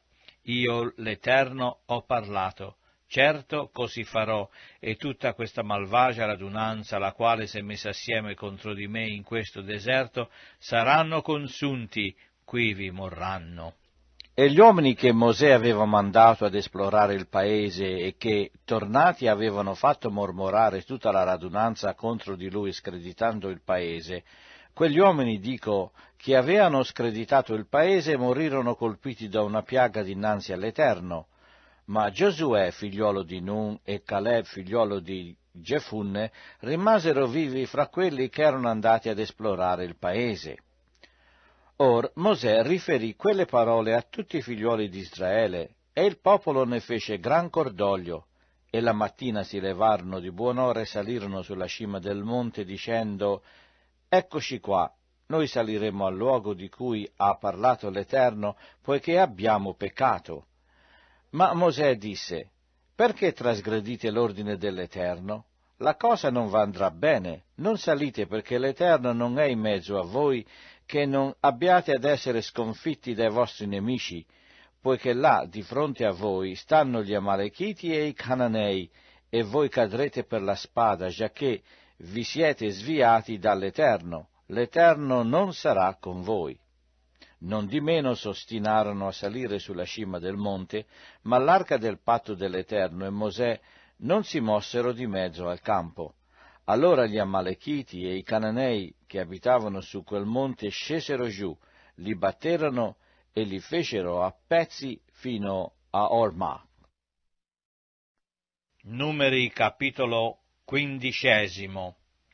Poi l'Eterno parlò a Mosè dicendo, Parla ai figlioli di Israele di loro, quando sarete entrati nel paese che dovrete abitare e che io vi do, e offrirete all'Eterno un sacrificio fatto mediante il fuoco, olocausto o sacrificio per adempimento d'un voto o come offerta volontaria, o nelle vostre feste solenni per fare un profumo soave all'Eterno col vostro grosso minuto bestiame, colui che presenterà la sua offerta all'Eterno offrirà come oblazione un decimo d'un'efa di fior di farina stemperata con un quarto di un hin d'olio, e farai una libazione d'un quarto di hin di vino con l'olocausto o il sacrificio per ogni agnello se è per un montone, offrirai come oblazione due decimi d'efa di fior di farina stemperata col terzo di un hin d'olio, e farai una libazione di un terzo di hin di vino come offerta di odore soave all'Eterno, e se offre un giovenco come olocausto o come sacrificio per adempimento d'un voto o come sacrificio di azioni di grazia all'Eterno, si offrirà col giovenco come oblazione tre decimi d'efa di fior di farina stemperata con la metà di un hin d'olio, e farai una libazione di un mezzo indivino. È un sacrificio fatto mediante il fuoco di soave odore all'Eterno. Così si farà per ogni bue, per ogni montone, per ogni agnello o capretto. Qualunque sia il numero degli animali che immolerete, farete così per la ciascuna vittima. Tutti quelli che sono nativi del paese saranno obbedienti a questo e offriranno un sacrificio fatto mediante il fuoco di suave odore all'Eterno. E se uno straniero che soggiorna da voi o chiunque dimori fra voi nel futuro offre un sacrificio fatto mediante il fuoco di soave odore all'Eterno, farà come fate voi. Vi sarà una sola legge per tutta l'assemblea, per voi e per lo straniero che soggiorna tra voi. Sarà una legge perpetua di generazione in generazione, come siete voi, così sarà lo straniero davanti all'Eterno. Ci sarà una stessa legge e uno stesso diritto per voi e per lo straniero che soggiorna da voi. L'Eterno parlò ancora a Mosè dicendo, Parla ai figlioli di Israele di loro, quando sarete arrivati nel paese dove io vi conduco e mangerete del pane di quel paese, ne preleverete un'offerta da presentare all'Eterno. Dalle primizie della vostra pasta metterete da parte una focaccia come un'offerta, la metterete da parte come si mette da parte l'offerta dell'aia delle primizie della vostra pasta darete all'Eterno una parte come offerta di generazione in generazione. Quando avrete errato e non avrete osservato tutti questi comandamenti che l'Eterno ha dati a Mosè, tutto quello che l'Eterno vi ha comandato per mezzo di Mosè dal giorno che l'Eterno vi ha dato dei comandamenti e in appresso, nelle vostre successive generazioni, se il peccato è stato commesso per errore, senza che la radunanza se ne sia accorta, Tutta la radunanza offrirà un giovenco come olocausto di suave odore all'Eterno, con la sua oblazione e la sua libazione secondo le norme stabilite, e un capro come sacrificio per il peccato.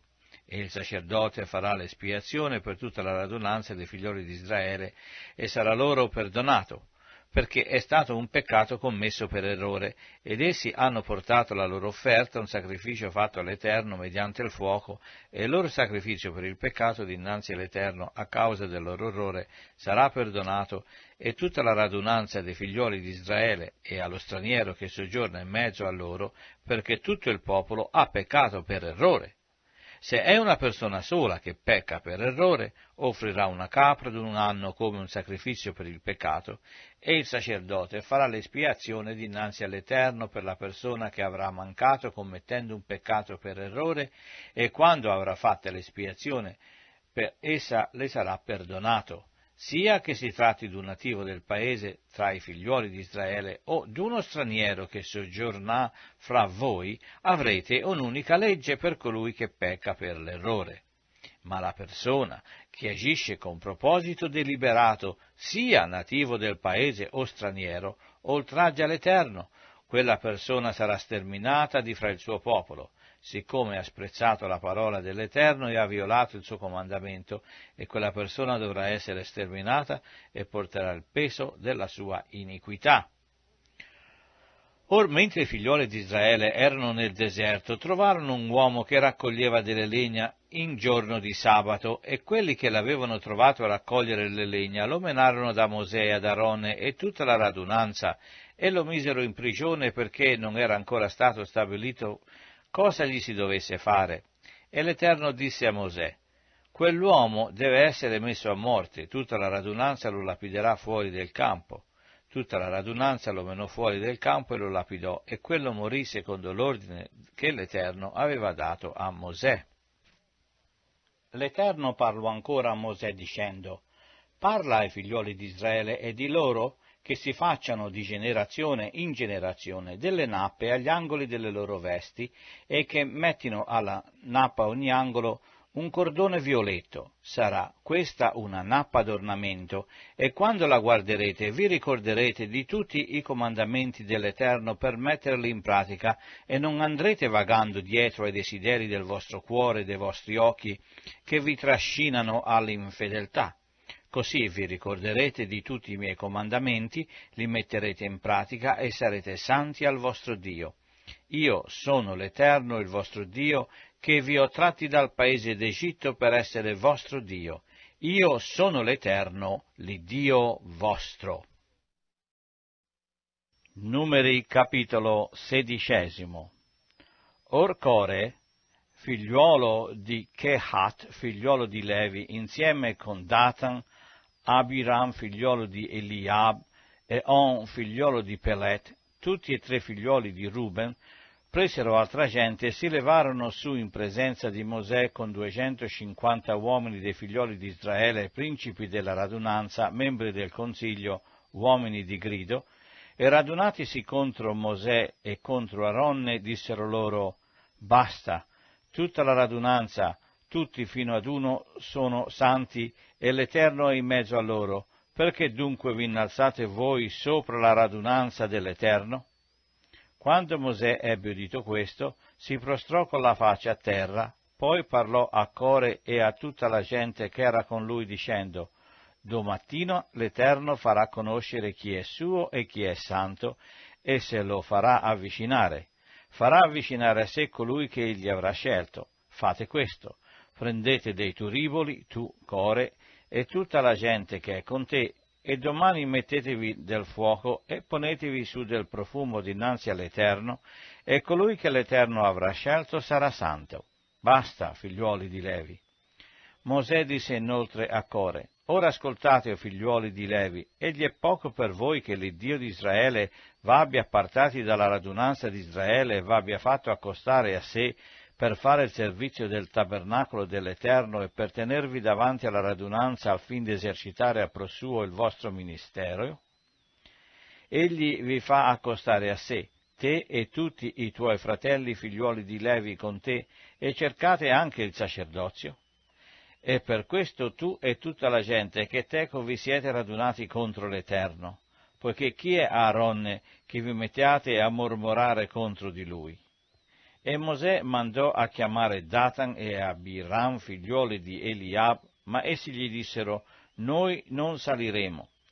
Egli è poco per te l'averci tratti fuori da un paese dove scorre il latte e il miele per farci morire nel deserto che tu voglia anche farla da principe, sì, da principe su noi?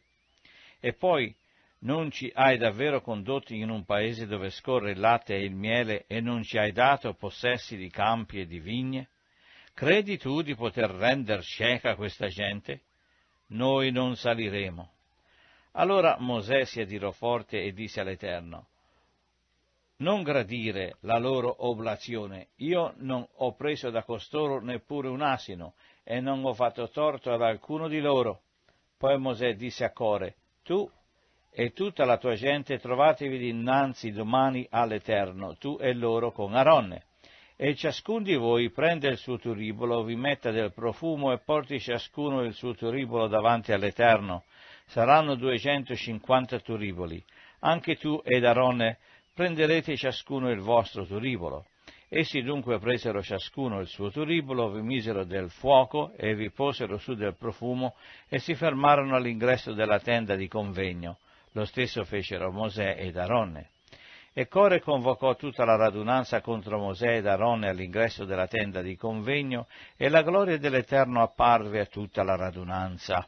E l'Eterno parlò a Mosè e ad Aronne dicendo, Separatevi da questa radunanza e io li consumerò in un attimo.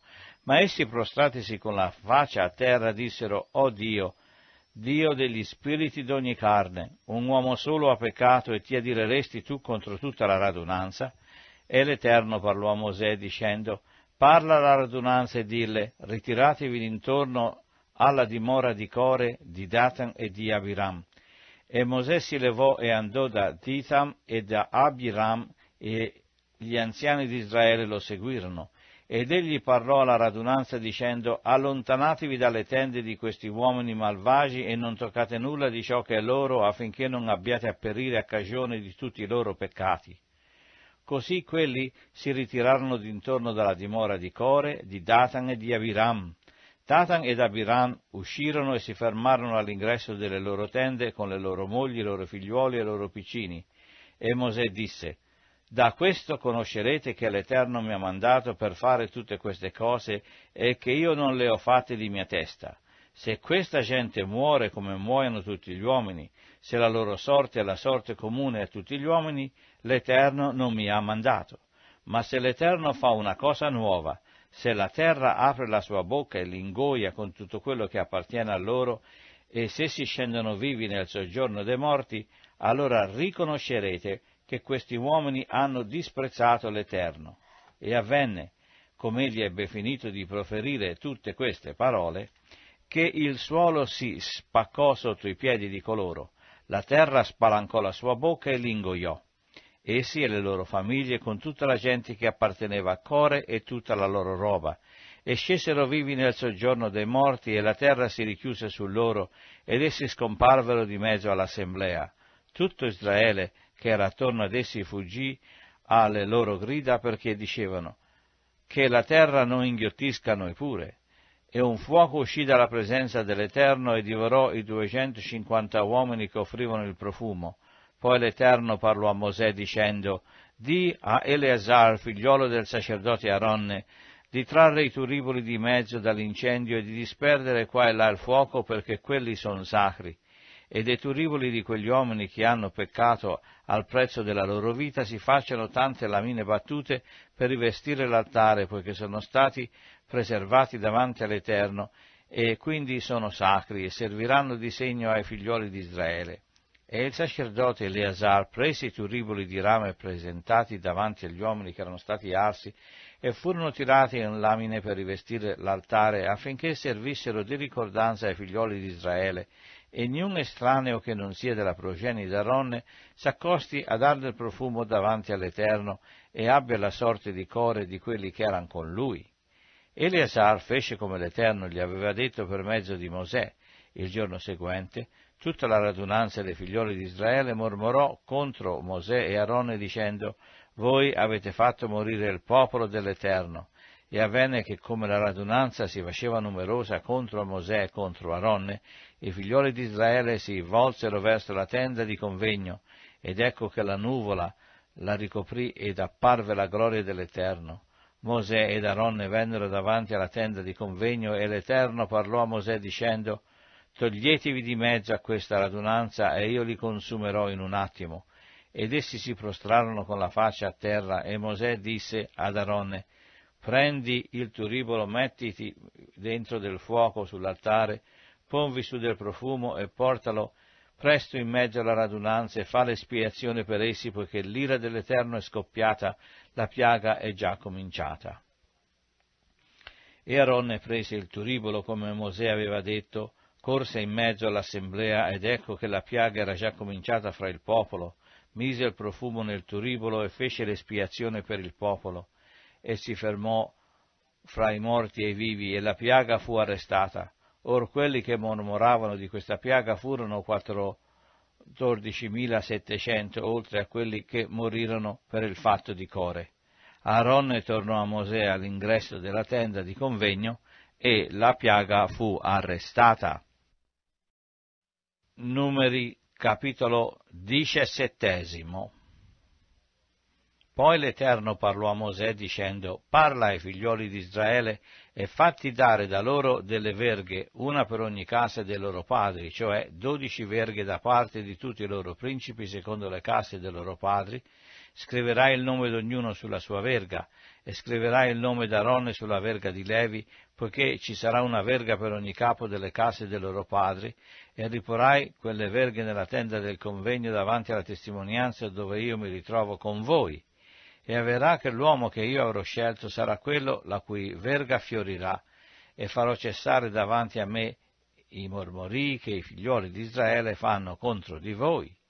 E Mosè parlò ai figlioli di Israele e tutti i loro principi gli dettero una verga per uno secondo le case dei loro padri, cioè dodici verghe, e la verga d'Aronne era in mezzo alle verghe loro. E Mosè ripose quelle verghe davanti all'Eterno nella tenda della testimonianza, e avvenne l'indomani che Mosè entrò nella tenda della testimonianza, ed ecco che la verga d'Aronne per la casa di Levi aveva fiorito, gettando dei bottoni, sbocciato dei fiori, e maturando delle mandorle. Allora Mosè tolse tutte le verghe di davanti all'Eterno e le portò a tutti i figlioli di Israele, ed essi le videro e presero ciascuno la sua verga, e l'Eterno disse a Mosè, riporta la verga d'Aaronne davanti alla testimonianza perché sia conservata come un segno ai ribelli, onde sia messo fin ai loro mormorii contro di me, ed essi non muoiano. Mosè fece così, fece come l'Eterno gli aveva comandato. I figlioli di Israele dissero a Mosè, ecco, periamo, siamo perduti, siamo tutti perduti. chiunque si accosta, chiunque si accosta al tabernacolo dell'Eterno muore. Dovremmo perire tutti quanti. Numeri, capitolo diciottesimo.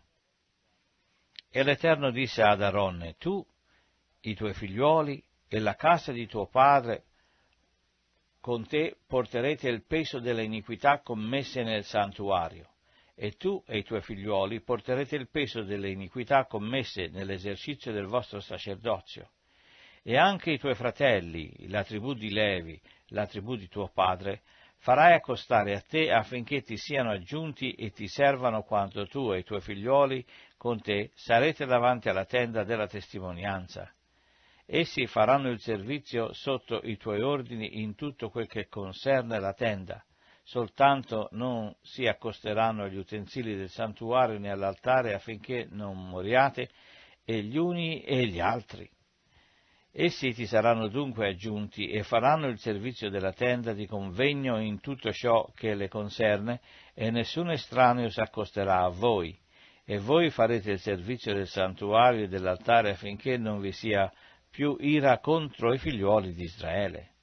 Quanto a me, ecco, io ho preso i vostri figliuoli leviti di mezzo ai figliuoli di Israele, dati all'Eterno, essi sono rimessi in dono e voi per fare il servizio della tenda di convegno. E tu e i tuoi figliuoli con te eserciterete il vostro sacerdozio in tutto ciò che concerne l'altare e ciò che di là dal velo e farete il vostro servizio. Io vi do l'esercizio del sacerdozio come un dono. L'estraneo che si accosterà sarà messo a morte. L'Eterno disse ancora ad Aronne, ecco, di tutte le cose consacrate dai figlioli di Israele, io ti do quelle che mi sono offerte per l'elevazione. Io te le do e tu ai tuoi figlioli come diritto d'unzione per legge perpetua. Questo ti apparterà tra le cose santissime, non consumate dal fuoco, tutte le loro offerte, vale a dire ogni oblazione, ogni sacrificio per il peccato ed ogni sacrificio di riparazione che mi presenteranno, sono tutte cose santissime che apparterranno a te e ai tuoi figliuoli. Le mangerai in luogo santissimo, ne mangerai ogni maschio, ti saranno come cose sante. Questo ancora ti appartiene, i doni che i figlioli di Israele presenteranno per elevazione e tutte le loro offerte agitate, io le do a te, ai tuoi figlioli e alle tue figliole con te per legge perpetua. Chiunque sarà puro in casa tua ne potrà mangiare. Ti do pure tutte le primizie che si offriranno all'Eterno, il meglio dell'olio, il meglio del mostro, del grano e le primizie del tuo ciò che produrrà la loro terra e che essi presenteranno all'Eterno saranno tue. Chiunque sarà puro in casa tua ne potrà mangiare. Tutto ciò che sarà consacrato per voi d'interdetto in Israele sarà tuo. Ogni primogenito d'ogni carne che si offriranno all'Eterno, così degli uomini come degli animali, sarà tuo. Però farai riscattare il primogenito dell'uomo e farai parimente riscattare il primogenito di un animale impuro e quanto al riscatto, li farai riscattare dall'età di un mese secondo la tua stima per cinque sicli d'argento e un ciclo di santuario, che è di venti ghere. Ma non farai riscattare il primogenito della vacca, nel primogenito della pecora, nel primogenito della capra, sono cosa sacra, spanderai il loro sangue sull'altare e farai fumare il loro grasso come sacrificio fatto mediante il fuoco di soave odore all'Eterno. La loro carne sarà tua, sarà tua come il petto dell'offerta agitata e come la coscia destra. Io ti do a te e ai figlioli e alle tue figliole con te per legge perpetua tutte le offerte di cose sante che i figlioli di Israele presenteranno all'Eterno per elevazione. È un patto inalterabile, perpetuo dinanzi all'Eterno, per te e per la tua progenie con te. L'Eterno disse ancora ad Aronne, tu non avrai alcun possesso nel paese e non ci sarà parte per te in mezzo a loro. Io sono la tua parte e il tuo possesso in mezzo ai figlioli di Israele. E ai figlioli di Levi io do come possesso tutte le decime in Israele in contraccambio del servizio che fanno, il servizio della tenda di convegno, e i figlioli di Israele non si accosteranno più alla tenda di convegno per non caricarsi di un peccato che li trarrebbe a morte. Ma il servizio della tenda di convegno lo faranno soltanto i leviti ed essi porteranno il peso delle proprie iniquità. Sarà una legge perpetua di generazione in generazione e non possederanno nulla tra i figlioli di Israele, poiché io do come possesso ai leviti le decime dei figlioli di Israele, presenteranno all'Eterno come offerta elevata, per questo ti dico di loro, non possederanno nulla tra i figlioli di Israele. E l'Eterno parlò a Mosè, dicendo, Parlerai inoltre ai Leviti e dirai loro, quando riceverete dai figlioli di Israele le decime che io vi do per conto loro come vostro possesso, ne metterete da parte un'offerta da fare all'Eterno, una decima della decima, e l'offerta che avrete prelevata vi sarà contata come il grano che viene dall'aia, come il mostro che esce dallo strettoio, così anche voi metterete da parte un'offerta per l'Eterno da tutte le decime che riceverete dai figlioli di Israele, e darete al sacerdote Aaron l'offerta che avete messa da parte per l'Eterno. Da tutte queste cose che vi saranno donate metterete da parte tutte le offerte per l'Eterno, di tutto ciò che vi sarà di meglio metterete da parte quel tanto che è da consacrare. E dirai loro, quando ne avrete messo da parte il meglio, quel che rimane sarà contato ai Leviti come il provento dell'aia e come il provento dello strettoio, e lo potrete mangiare in qualunque luogo, voi e le vostre famiglie, perché è vostra mercede in contraccambio del vostro servizio nella tenda di convegno, e così non vi caricherete da alcun peccato, giacché ne avrete messo da parte il meglio, e non profanerete le cose sante dei figlioli di Israele, e non morrete. Numeri capitolo diciannovesimo L'Eterno parlò ancora a Mosè e ad Aarone dicendo, Questo è l'ordine della legge che l'Eterno ha prescritta dicendo, Di ai figlioli di Israele che ti menino una giovenca rossa senza macchia, senza difetti, e che non abbia mai portato il giogo e la darete al sacerdote Eleazar, che la condurrà fuori del campo e la farà scannare in sua presenza. Il sacerdote Eleazar prenderà col dito del sangue della giovenca e ne farà sette volte l'aspersione dal lato dell'ingresso della tenda di convegno, poi si brucerà la giovenca sotto gli occhi di lui, se ne brucerà la pelle, la carne, il sangue con i suoi escrementi. Il sacerdote prenderà quindi del legno di cedro, dell'issopo, della stoffa scarlatta e getterà tutto in mezzo al fuoco che consuma la giovenca. Poi il sacerdote si laverà le vesti e il corpo nell'acqua, dopo di che rientrerà nel campo e il sacerdote sarà impuro fino alla sera. E colui che avrà bruciato la giovenca si laverà le vesti nell'acqua, farà un'abluzione nel corpo nell'acqua e sarà impuro fino alla sera un uomo puro raccoglierà le ceneri della giovenca e le depositerà fuori del campo in un luogo puro, dove saranno conservate per la radunanza dei figlioli di Israele con acqua di purificazione, è un sacrificio per il peccato. E colui che vi avrà raccolto le ceneri della giovenca si laverà le vesti e sarà impuro fino alla sera, e questa sarà una legge perpetua per i figlioli di Israele e per lo straniero che soggiornerà da voi. Chi avrà toccato il cadavere di una persona umana sarà impuro sette giorni.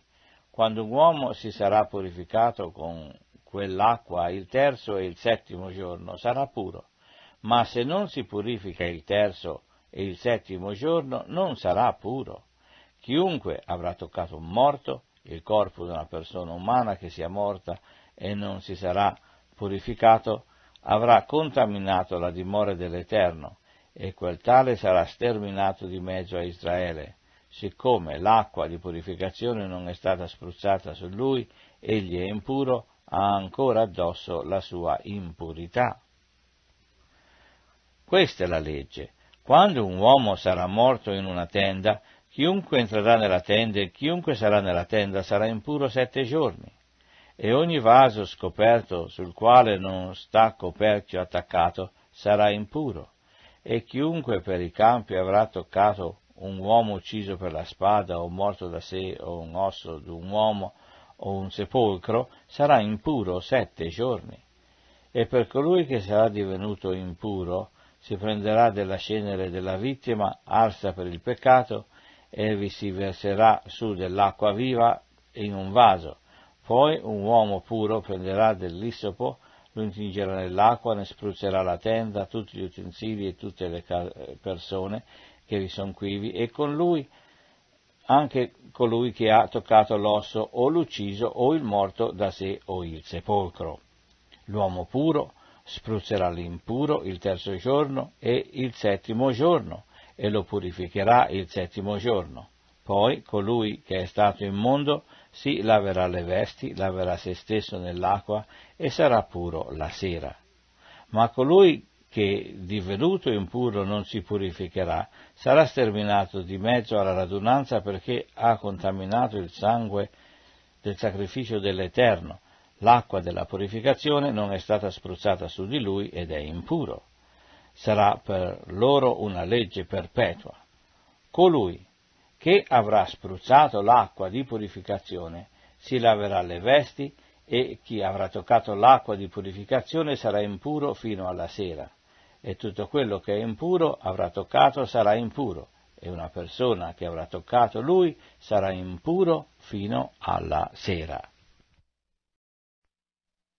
Numeri capitolo ventesimo Or tutta la radunanza dei figlioli di Israele arrivò al deserto di Zin il primo mese e il popolo si fermò a Cades. Quivi morì e fu sepolta Maria. E mancava l'acqua per la radunanza, onde ci fu assembramento contro Mosè e contro Aronne, e il popolo contese con Mosè dicendo, fossimo pur morti quando morirono i nostri fratelli davanti all'Eterno. E perché avete menato la radunanza dell'Eterno in questo deserto per morirvi, noi e il nostro bestiame? E perché ci avete fatti salire dall'Egitto per menarci in questo triste luogo? Non è luogo dove si possa seminare? Non ci sono fichi, non vigne, non malagrane e non c'è acqua da bere.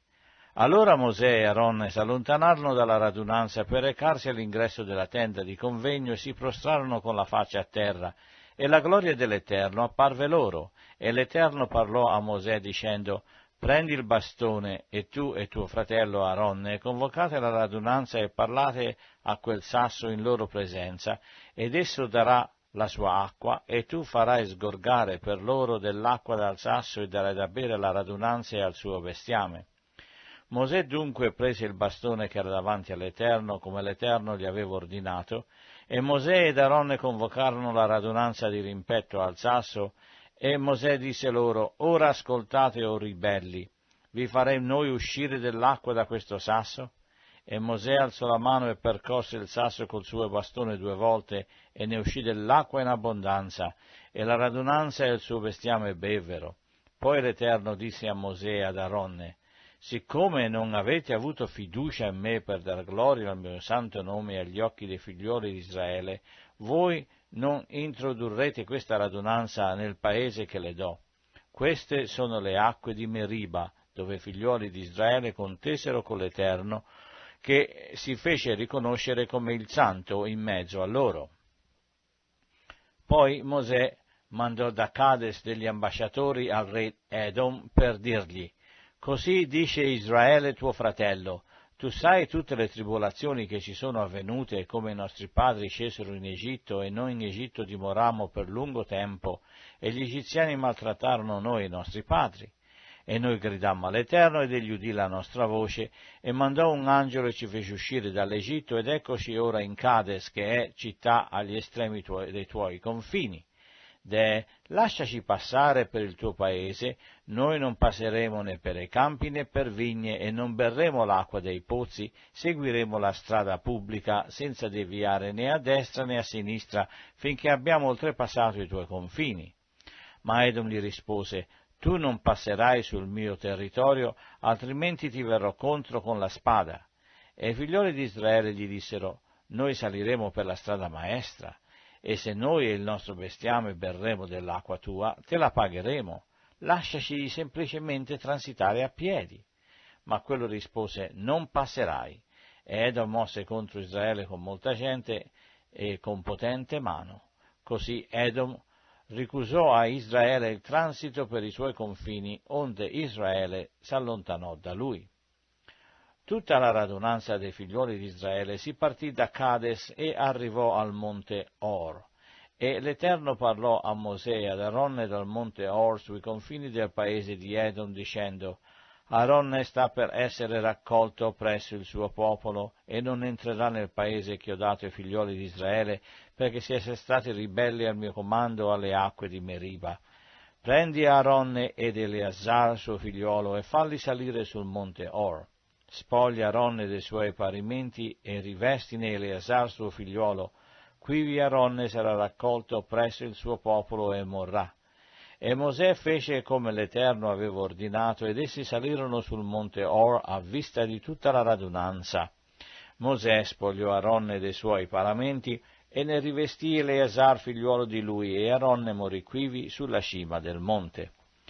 Poi Mosè ed Eleazar scesero dal monte e quando tutta la radunanza vide che Aaron era morto, tutta la casa di Israele lo pianse per trenta giorni. Numeri capitolo ventunesimo. Ora il re cananeo di Arad, che abitava il mezzogiorno, avendo udito che Israele veniva per la via di Atarin, combatté contro Israele e fece alcuni prigionieri. Allora Israele fece un voto all'Eterno e disse, se tu dai nelle mie mani questo popolo, le loro città saranno da me votate allo sterminio. E l'Eterno porse ascolto alla voce di Israele e gli diede nelle mani i Cananei, e Israele votò allo sterminio i Cananei e le loro città, e a quel luogo fu posto nome Horma. Poi gli israeliti si partirono dal monte Hor, movendo verso il Mar Rosso per fare il giro del paese di Edom, e il popolo si fe impaziente nel viaggio, e il popolo parlò contro Dio e contro Mosè dicendo, perché ci avete fatti salire fuori dall'Egitto per farci morire in questo deserto? Perché qui non c'è né pane né acqua, né l'anima nostra è nauseata da questo cibo tanto leggero. Allora l'Eterno mandò fra il popolo dei serpenti ardenti, i quali mordevano la gente, e gran numero di israeliti morirono. Allora il popolo venne a Mosè e disse, abbiamo peccato, perché abbiamo parlato contro l'Eterno e contro te. Prega l'Eterno che allontani da noi questi serpenti. E Mosè pregò per il popolo, e l'Eterno disse a Mosè, fatti un serpente ardente e mettilo sopra un'antenna, e avverrà che chiunque sarà morso e lo guarderà, scamperà. Mosè allora fece un serpente di rame e lo mise sopra un'antenna e avvenne che quando un serpente aveva morso qualcuno, se questi guardava il serpente di rame, scampava. Poi i figlioli di Israele partirono e si accamparono a Oboth e partitisi da Oboth si accamparono a Ige Abarin nel deserto che è di rimpetto a Moab, dal lato dove sorge il sole. Di là si partirono e si accamparono nella valle di Zered. Poi si partirono di là e si accamparono dall'altro lato dell'Arnon, che scorre nel deserto e nasce sui confini degli Amorei, poiché l'Arnon è confine di Moab, fra Moab e gli Amorei. Per questo è detto nel libro delle guerre dell'Eterno, Vaheb in Sufa e le valli dell'Arnon, e i declivi delle valli che si estendono verso le dimore di Ar e si appoggiano alla frontiera di Moab, e di là andarono a Ber, che è il pozzo a proposito del quale l'Eterno disse a Mosè, raduna il popolo e io gli darò dell'acqua. E fu in quell'occasione che Israele cantò questo cantico. Scaturisci, o pozzo, salutatelo con canti. Pozzo che i principi hanno scavato, che i nobili del popolo hanno aperto con lo scettro, con i loro bastoni. Poi dal deserto andarono a Matana e da Matana a Nataliel e Nahaliel a Bomot e da Bomot nella valle che è nella campagna di Moab verso l'altura del Pisga che domina il deserto.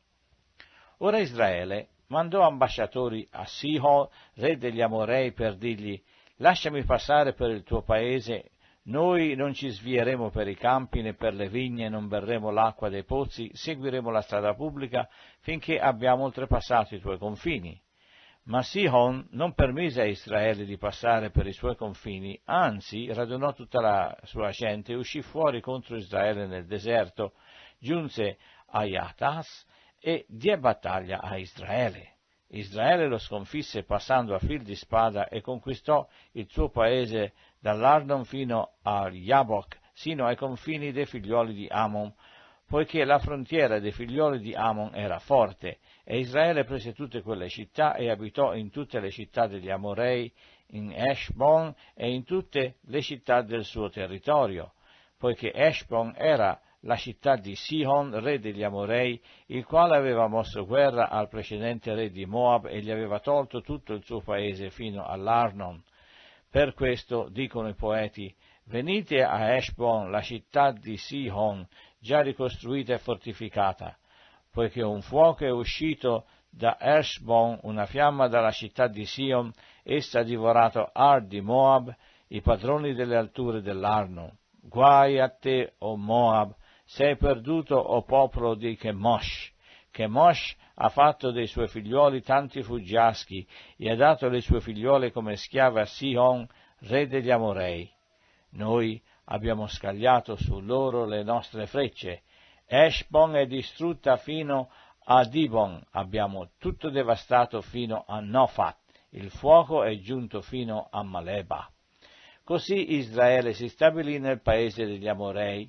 Poi Mosè mandò ad esplorare Yasrel e gli Israeliti presero le città del suo territorio e ne cacciarono gli Amorei che vi si trovavano e mutata direzione risalirono il paese in direzione di Bashan e Og, re di Bashan, uscì contro loro con tutta la sua gente per dar loro battaglia a Edrei. Ma l'Eterno disse a Mosè, non lo temere, poiché io lo do nelle tue mani, lui, tutta la sua gente e il suo paese.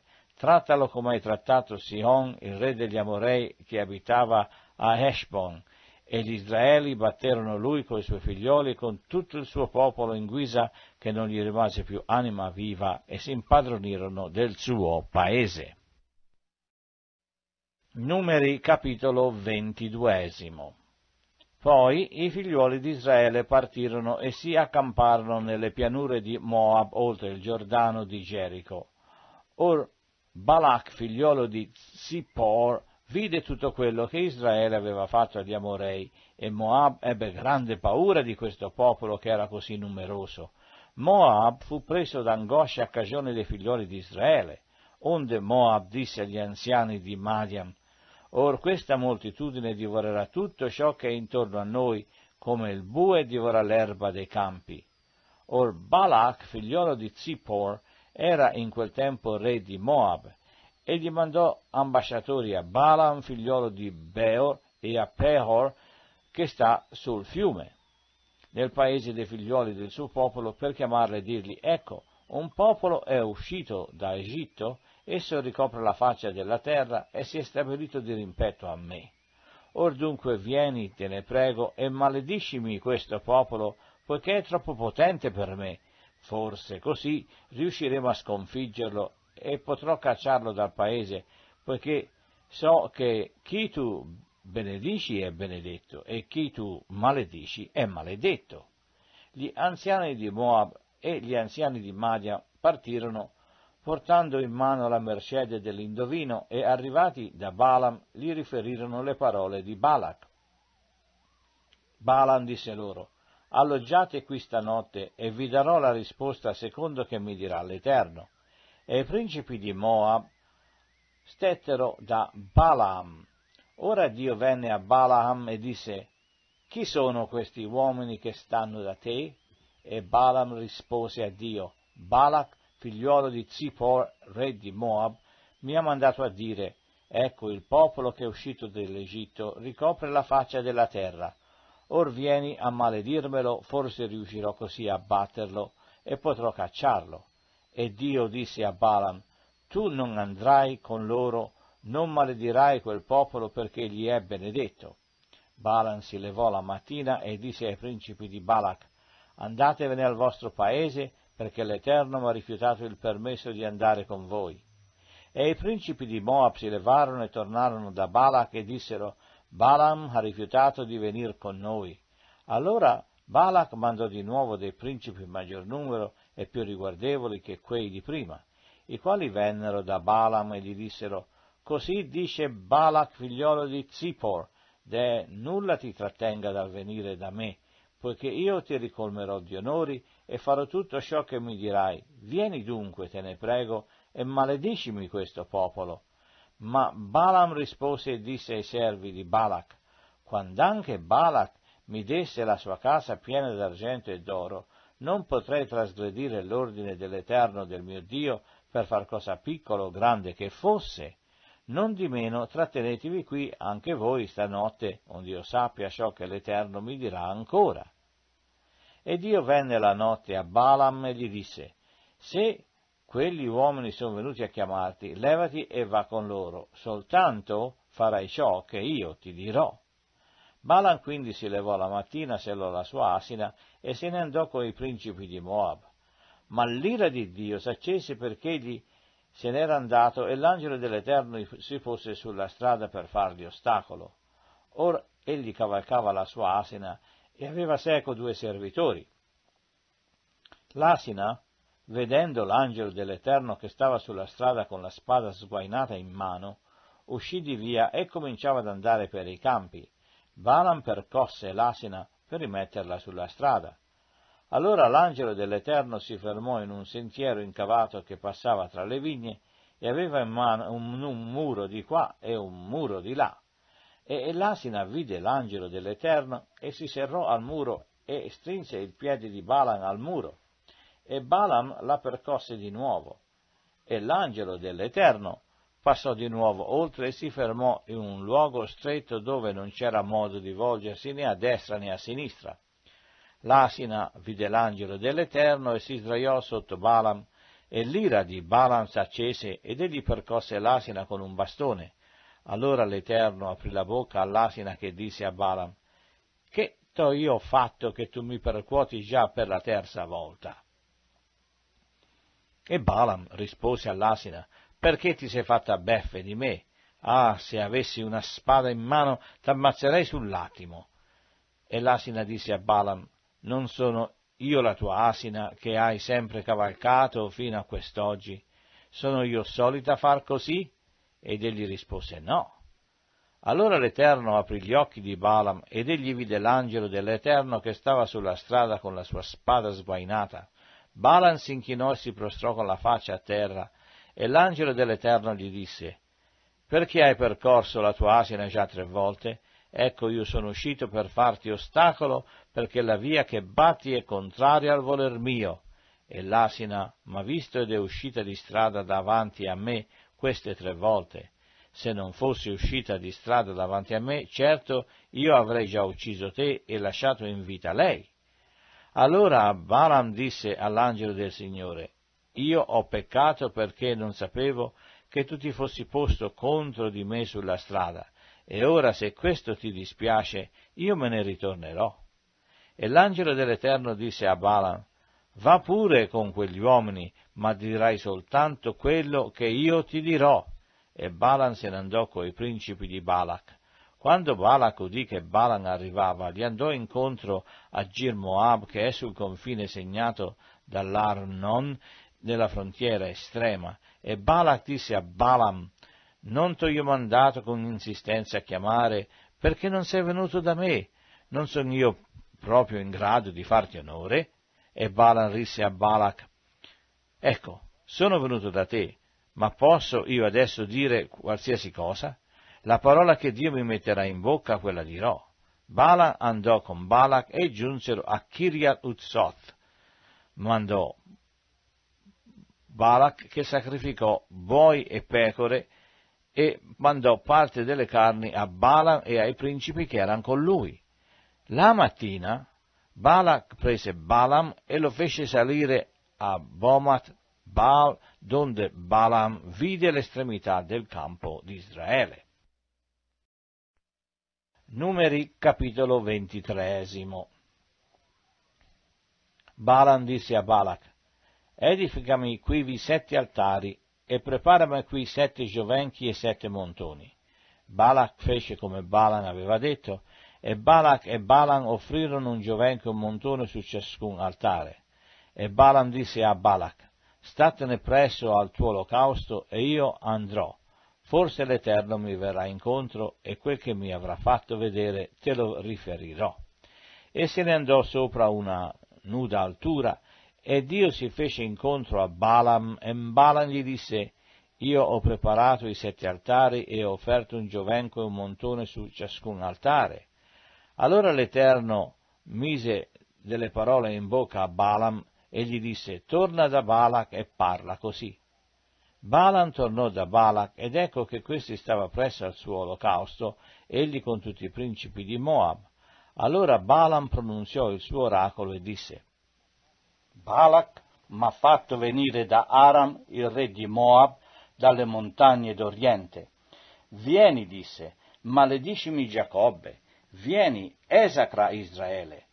Come farò a maledire? Il Dio non l'ha maledetto. Come farò ad esacrare? L'Eterno non l'ha esacrato.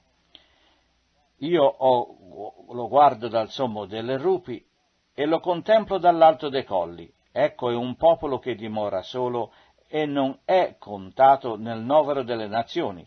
Chi può contare la polvere di Giacobbe o calcolare il quarto di Israele?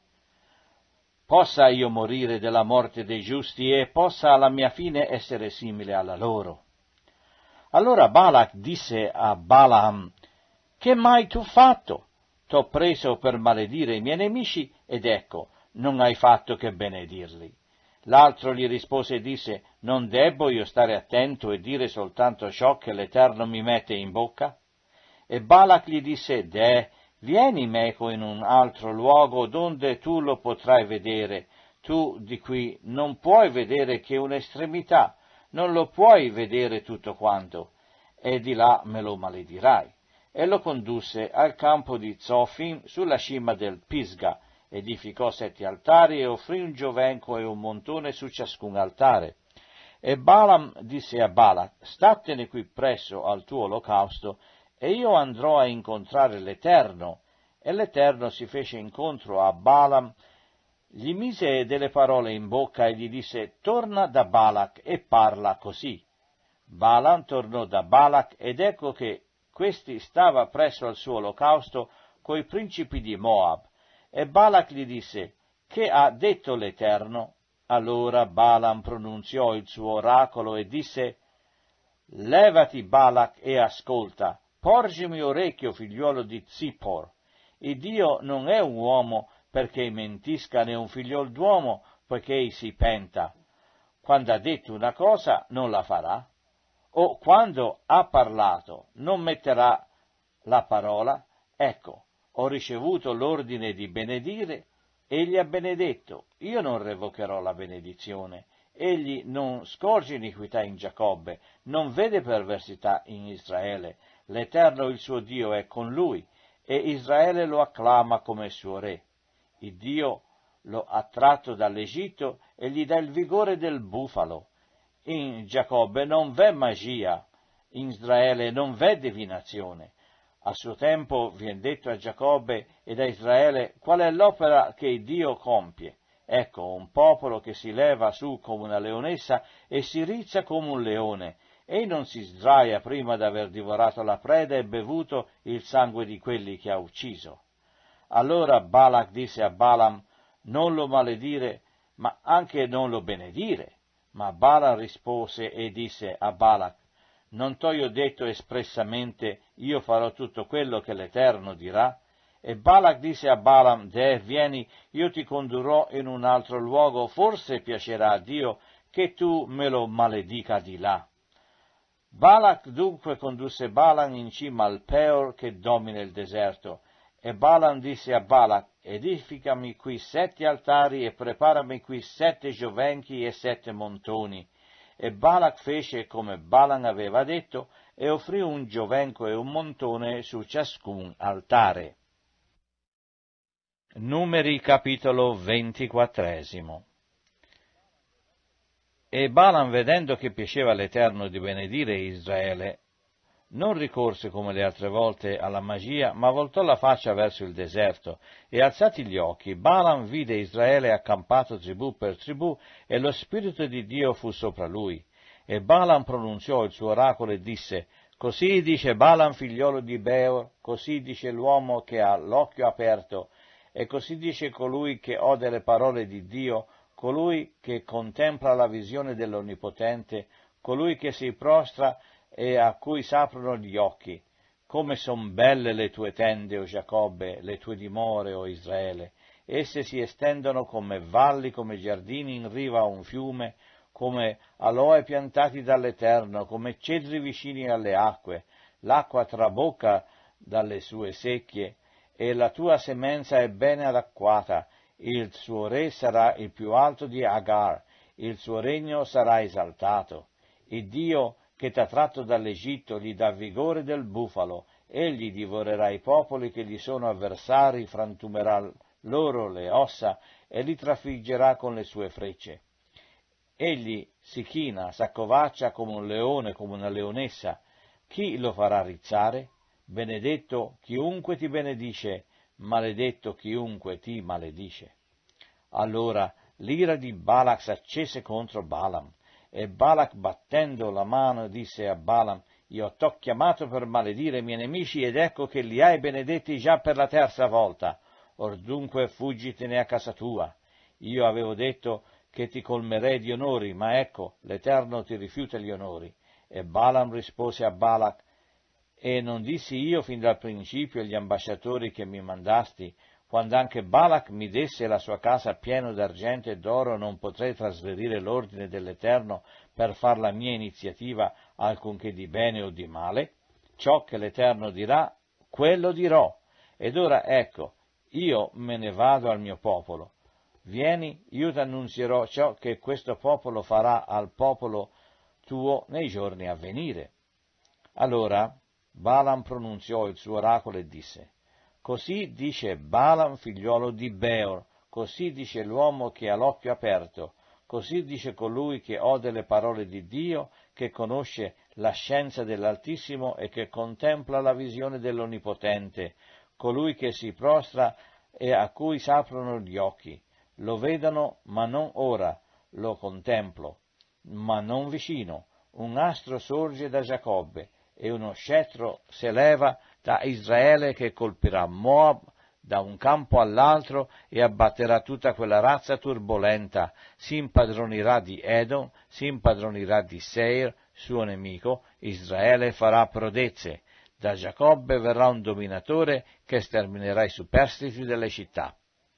Balaam vide anche Amalek e pronunziò il suo oracolo dicendo Amalek è la prima delle nazioni, ma il suo avvenire fa capo alla rovina vide anche i Chenei e pronunziò il suo oracolo dicendo, la tua dimora è solida e il tuo nido è posto nella roccia, non di meno il Cheneo dovrà essere devastato finché l'Assiro ti meni in cattività. Poi pronunziò di nuovo il suo oracolo e disse, ahimè, chi sussisterà quando l'Iddio avrà stabilito colui? Ma delle navi verranno dalle parti di Chitin e umilieranno Assur, umilieranno Eber ed egli pure finirà per essere distrutto. Poi Balaam si levò e partì e se ne tornò a casa sua, e Balak pure se ne andò per la sua strada. Numeri capitolo venticinquesimo Ora Israele era stanziato a Sittim e il popolo cominciò a darsi all'impurità con le figliole di Moab. Esse invitarono il popolo ai sacrifici offerti ai loro dei e il popolo mangiò e si prostrò dinanzi agli dei di quelle. Israele si unì a Baal Peor e l'ira dell'Eterno si accese contro Israele e l'Eterno disse a Mosè, prendi tutti i capi del popolo e falli appiccare davanti all'Eterno in faccia al sole, affinché l'ardente ira dell'Eterno sia rimossa da Israele. E Mosè disse ai giudici di Israele, ciascuno di voi uccida quelli dei suoi uomini che si sono uniti a Baal Peor, ed ecco che uno dei figlioli di Israele venne e condusse ai suoi fratelli una donna medianita sotto gli occhi di Mosè e di tutta la radunanza dei figlioli di Israele, mentre essi stavano piangendo all'ingresso della tenda di convegno. La qual cosa, avendo veduta Fineas, figliolo di Eleazar, figliolo del sacerdote Aronne, si alzò di mezzo alla radunanza e diede piglio ad una lancia, andò dietro a quell'uomo di Israele nella sua tenda e li trafisse ambedue, l'uomo di Israele e la donna nel basso ventre. E il flagello cessò tra i figlioli di Israele. Di quel flagello morirono ventiquattromila persone. L'Eterno parlò a Mosè dicendo, Fineas, figliolo di Eleazar, figliolo del sacerdote Aronne, ha rimossa l'ira mia dai figlioli di Israele perché egli è stato animato dal mio zelo in mezzo ad essi ed io, nella mia indignazione, non ho sterminato i figlioli di Israele. Perciò digli che io fermo con lui un patto di pace che sarà per lui e per la sua progenie dopo di lui l'alleanza d'un sacerdozio perpetuo perché egli ha avuto zelo per il suo Dio e ha fatto l'espiazione per i figlioli di Israele. Or l'uomo di Israele che fu ucciso con la donna madianita si chiamava Zimri, figliolo di Salù, capo di una casa patriarcale di Simeoniti, e la donna che fu uccisa, la madianita, si chiamava Cozbi, figliola di Zur, capo della gente di una casa patriarcale di Madian. Poi l'Eterno parlò a Mosè dicendo, trattate i Madianiti come nemici e uccideteli, poiché essi vi hanno trattati da nemici con inganni, mediante i quali vanno sedotti nell'affare di Peor e nell'affare di Cosbi, figliuola di un principe di Madian, loro sorella, che fu uccisa il giorno della piaga causata dall'affare di Peor. Numeri capitolo ventiseiesimo Ora venne che dopo quella piaga l'Eterno disse a Mosè e ad Eleazar, figliolo del sacerdote Aronne, fate il conto di tutta la radunanza dei figlioli di Israele dall'età di vent'anni in su, secondo le case dei loro padri, di tutti quelli che in Israele possono andare alla guerra. E Mosè e il sacerdote Eleazar parlarono loro nelle pianure di Moab presso al Giordano di faccia a Gerico, dicendo, si faccia il censimento dall'età di vent'anni in su, come l'Eterno ha ordinato a Mosè e ai figlioli di Israele quando furono usciti dal paese d'Egitto. Ruben, primogenito di Israele, figliolo di Ruben, Hanok, da cui discese la famiglia degli Anochiti, Pallu, da cui discese la famiglia dei Palluiti, Eztron, da cui discende la famiglia degli Eztroniti, Carmi, da cui discende la famiglia dei Carmiti, tali sono le famiglie dei Rubeniti, e quelli dei quali si fece il censimento furono 43.730. I figliuoli di Pallu, Eliab, figliuoli di Eliab, Nemel, Datan e Abiram. Questi sono quelli del Datan e dell'Abiram, membri del consiglio che si sollevarono contro Mosè e contro Aaron con la gente di Core, quando si sollevarono contro l'Eterno, e la terra aprì la sua bocca e l'inghiottì assieme con Core, allorché quella gente perì e il fuoco diverò duecentocinquanta uomini che servirono d'esempio. Ma i figlioli di Core non perirono, figliuoli di Simeone secondo le loro famiglie, da Nemuel discende la famiglia dei Numueliti, da Jamin la famiglia dei Jaminiti, da Jachin la famiglia degli Jachiniti, da Zarek la famiglia dei Zarechiti e da Saul la famiglia dei Sauliti. Tali sono le famiglie dei Simeoniti, 22.200. Figliuoli di Gad secondo le loro famiglie. Da Zefon discende la famiglia dei Zefoniti, da Aghi la famiglia degli Aghiti, da Shuni la famiglia degli Shuniti, da Ozni la famiglia degli Ozniti, da Eri la famiglia degli Eriti, da Harrod la famiglia degli Arroditi, da Ariel la famiglia degli Arieliti, tali sono le famiglie dei figlioli di Gad secondo il loro censimento, 40.500. Figliuoli di Giuda, Er e Onan, ma Er e Onan morirono nel paese di Canaan. Ecco i figliuoli di Giuda secondo le loro famiglie.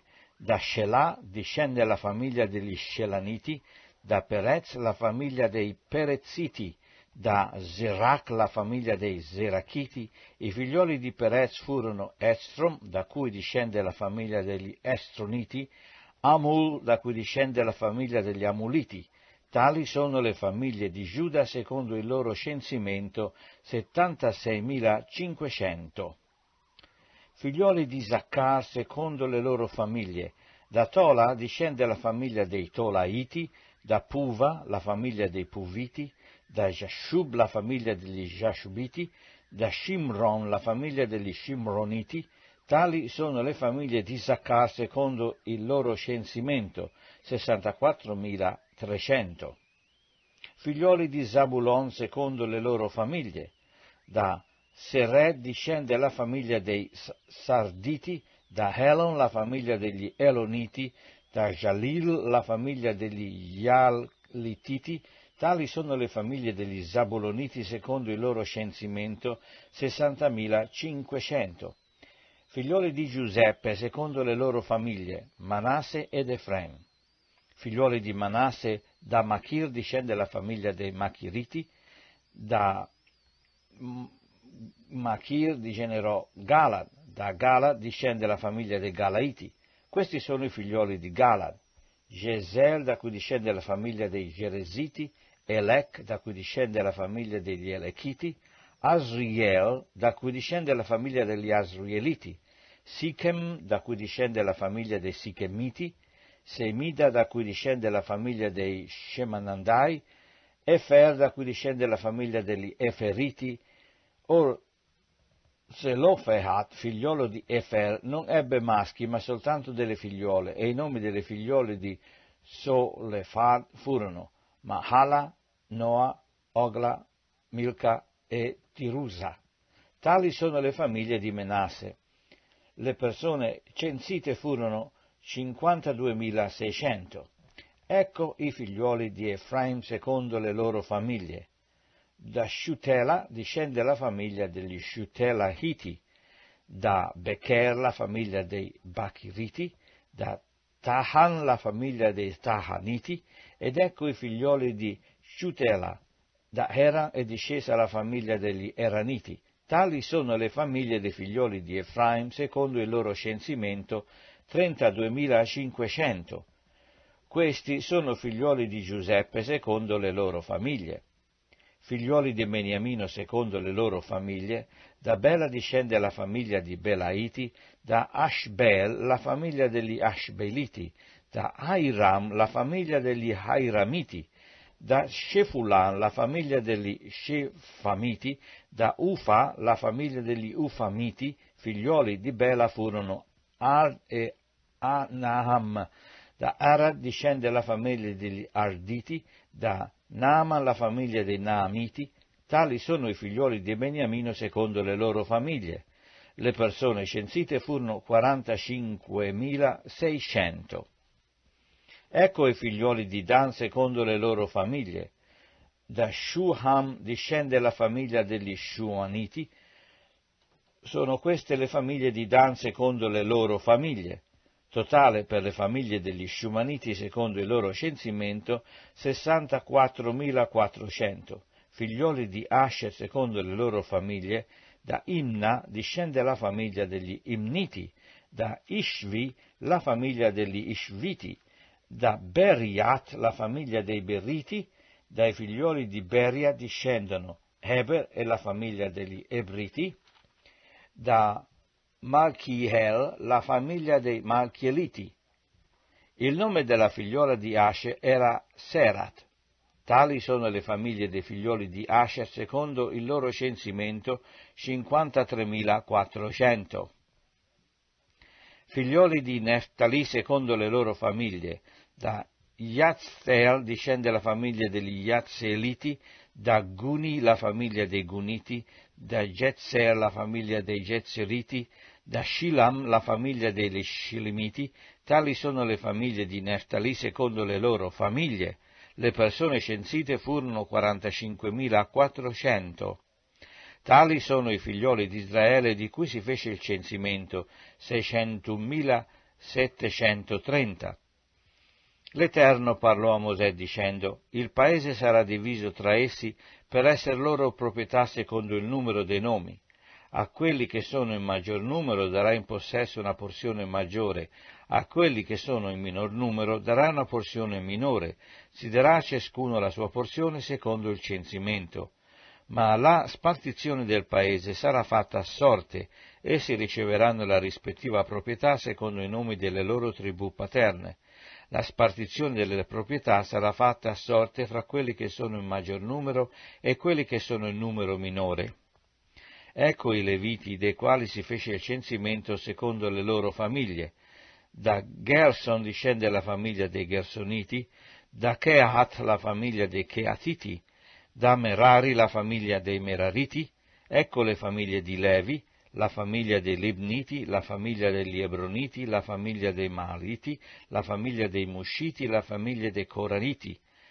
A Kehat generò Amram. Il nome della moglie di Amram era Jochebed, figliuola di Levi, che nacque a Levi in Egitto, ed essa partorì ad Amram, Aaron, Mosè, Maria loro sorella.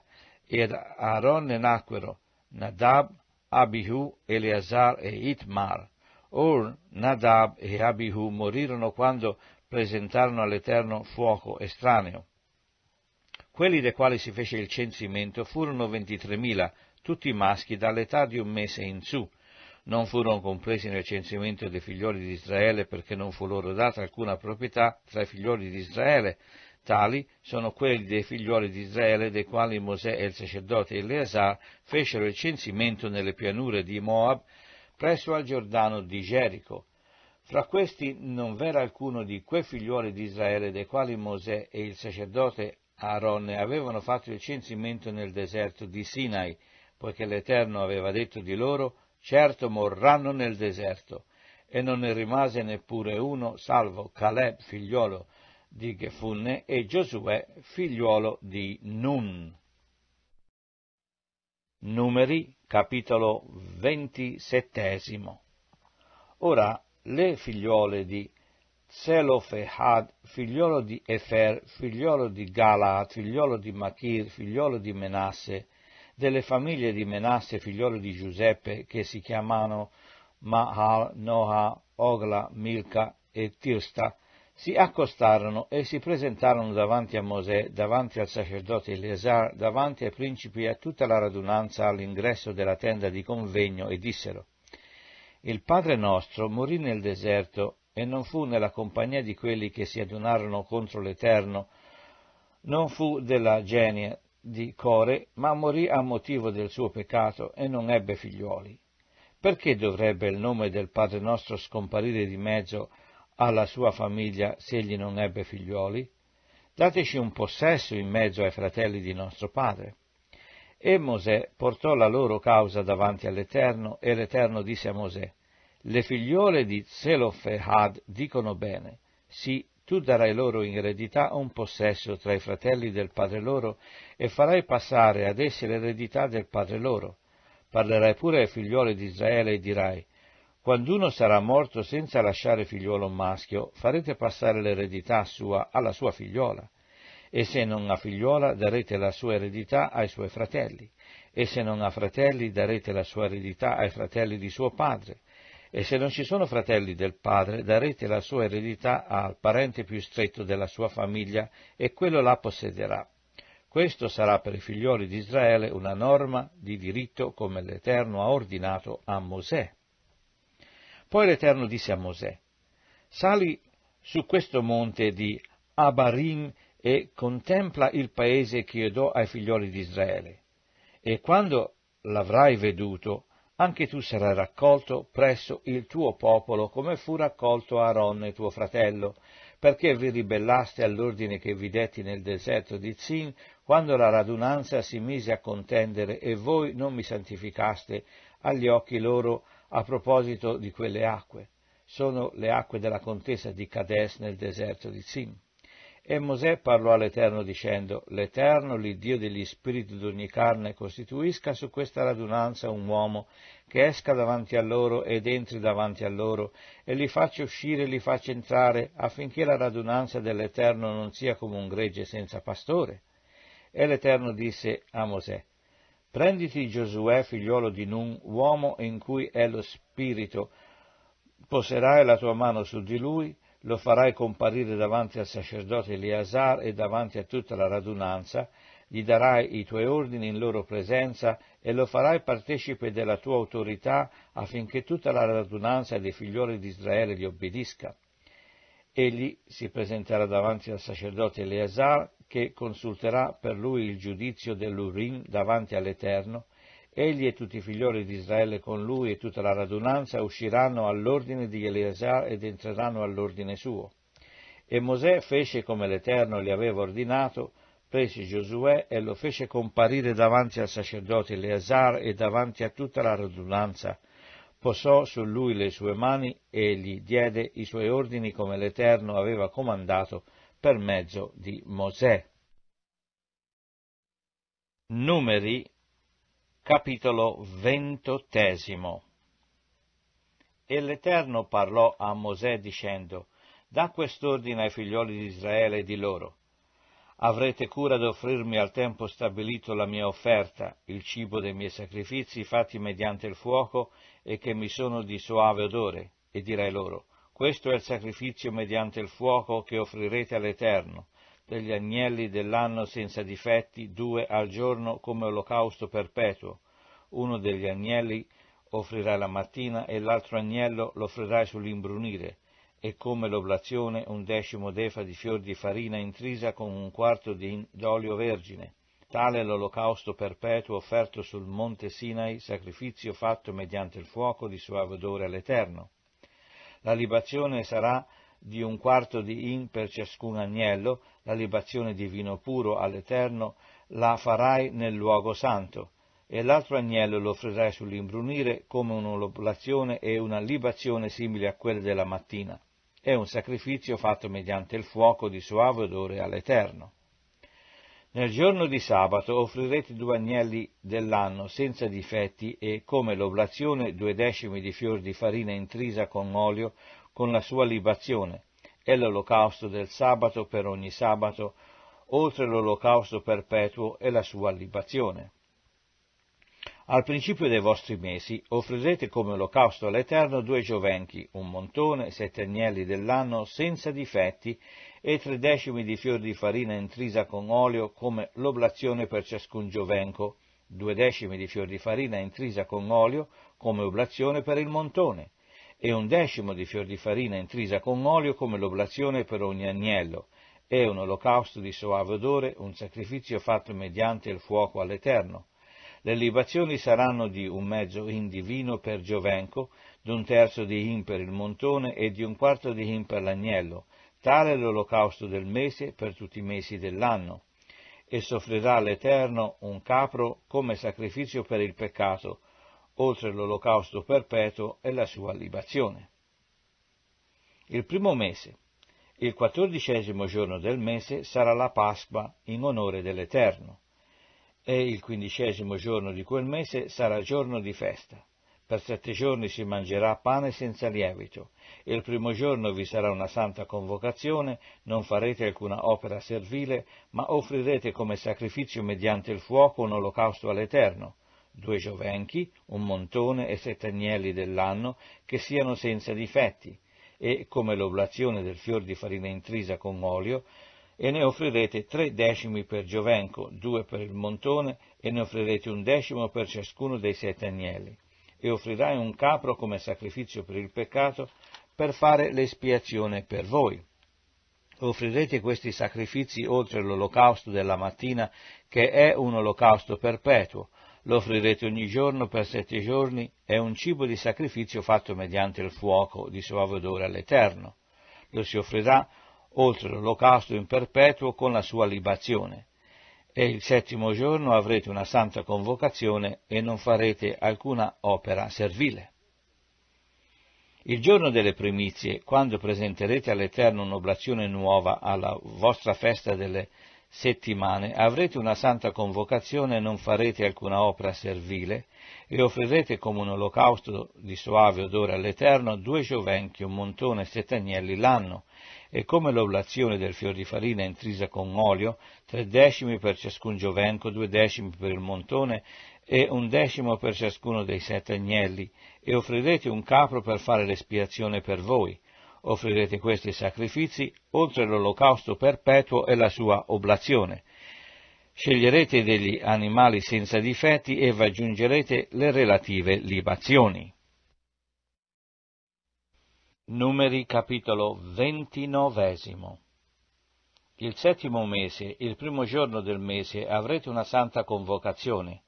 Non farete alcuna opera servile e sarà per voi il giorno del suono delle trombe.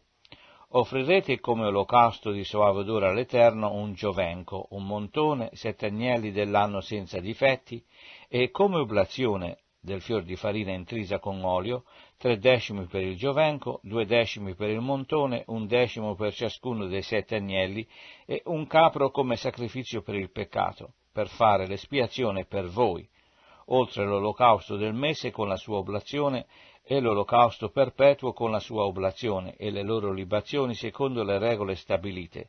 Sarà un sacrificio fatto mediante il fuoco di suave odore all'Eterno. Il decimo giorno di questo settimo mese avrete una santa convocazione e umilierete le anime vostre, non farete lavoro di sorte e offrirete come olocausto di suave odore all'Eterno un giovenco, un montone, sette agnelli dell'anno, che siano senza difetti e come oblazione del fior di farina intrisa con olio, tre decimi per il giovenco, due decimi per il montone, un decimo per ciascuno dei sette agnelli e un capro come sacrificio per il peccato, oltre il sacrificio dell'espiazione, l'olocausto perpetuo con la sua oblazione e le sue libazioni. Il quindicesimo giorno del settimo mese avrete una santa convocazione, non farete alcuna opera servile e celebrerete una festa in onore dell'Eterno per sette giorni e offrirete come olocausto, come sacrificio fatto mediante il fuoco di soave odore all'Eterno, tredici giovenchi, due montoni, quattordici agnelli dell'anno, che siano senza difetti, e come oblazione del fior di farina intrisa con olio, tre decimi per ciascuno dei tredici giovenchi, due decimi per ciascuno dei due montoni, un decimo per ciascuno dei quattordici agnelli e un capro come sacrificio per il peccato, oltre l'olocausto perpetuo con la sua oblazione e la sua libazione. E il secondo giorno offrirete dodici giovenchi, due montoni, quattordici agnelli dell'anno senza difetti, con le loro oblazioni e le loro libazioni per i giovenchi, i montoni e gli agnelli, secondo il loro numero, seguendo le regole stabilite, e un capro come sacrificio per il peccato, oltre l'olocausto perpetuo e la sua obbligazione e la sua libazione. Il terzo giorno offrirete undici giovenchi, due montoni, quattordici agnelli dell'anno senza difetti, con le loro oblazioni, le loro libazioni per i giovenchi, i montoni e gli agnelli, secondo il loro numero, seguendo le regole stabilite, e un capro come sacrificio per il peccato, oltre l'olocausto perpetuo, la sua oblazione e la sua libazione. E il quarto giorno offrirete dieci giovenchi, due montoni, 14 agnelli dell'anno senza difetti, con le loro offerte e le loro libazioni per i giovenchi e i montoni e gli agnelli, secondo il loro numero e secondo le regole stabilite, e un capro come sacrificio per il peccato, oltre l'olocausto perpetuo, la sua oblazione e la sua libazione. Il quinto giorno offrirete nove giovenchi, due montoni, 14 agnelli dell'anno, senza difetti, con le loro oblazioni e le loro libazioni per i giovenchi e montoni gli agnelli, secondo il loro numero e seguendo le regole stabilite, e un capro come sacrificio per il peccato, oltre l'olocausto perpetuo, la sua oblazione e la sua libazione.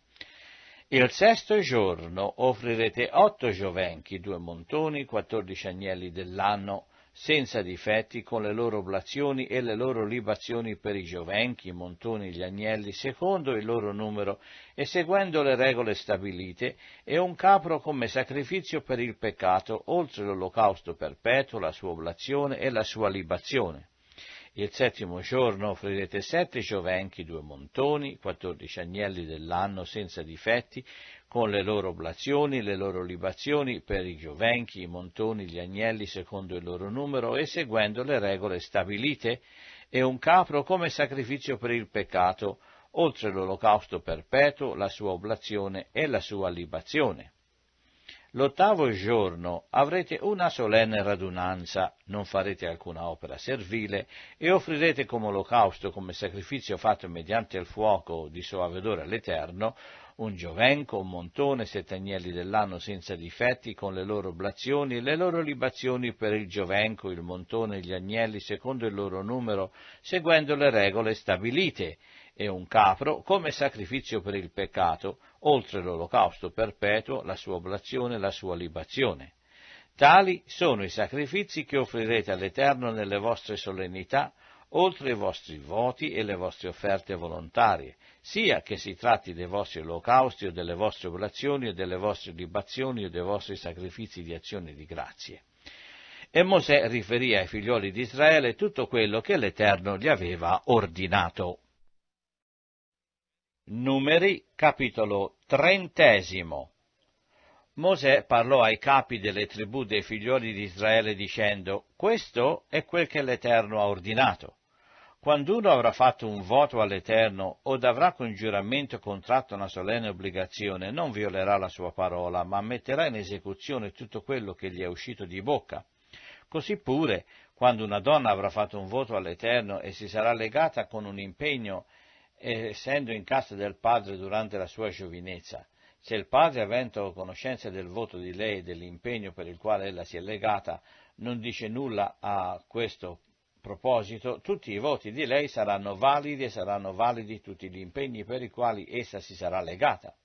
Ma se il padre, il giorno che ne viene a conoscenza, le fa opposizione, tutti i voti di lei, tutti gli impegni per i quali si sarà legata non saranno validi e l'Eterno le perdonerà, perché il padre le ha fatto opposizione. E se viene a maritarsi secondo, essendole legata da voti o da una promessa fatta alla leggera con le labbra, per la quale si sia impegnata, se il marito ne ha conoscenza e il giorno che ne viene a conoscenza non le dice nulla a questo proposito, i voti di lei saranno validi e saranno validi gli impegni per i quali ella si è legata. Ma se il marito, il giorno che ne viene a conoscenza, le fa opposizione, egli annullerà il voto che ella ha fatto e la promessa che ha proferito alla leggera per la quale si è impegnata e l'Eterno le perdonerà ma il voto di una vedova o di una donna ripudiata, qualunque sia l'impegno per il quale si sarà legata, rimarrà valido.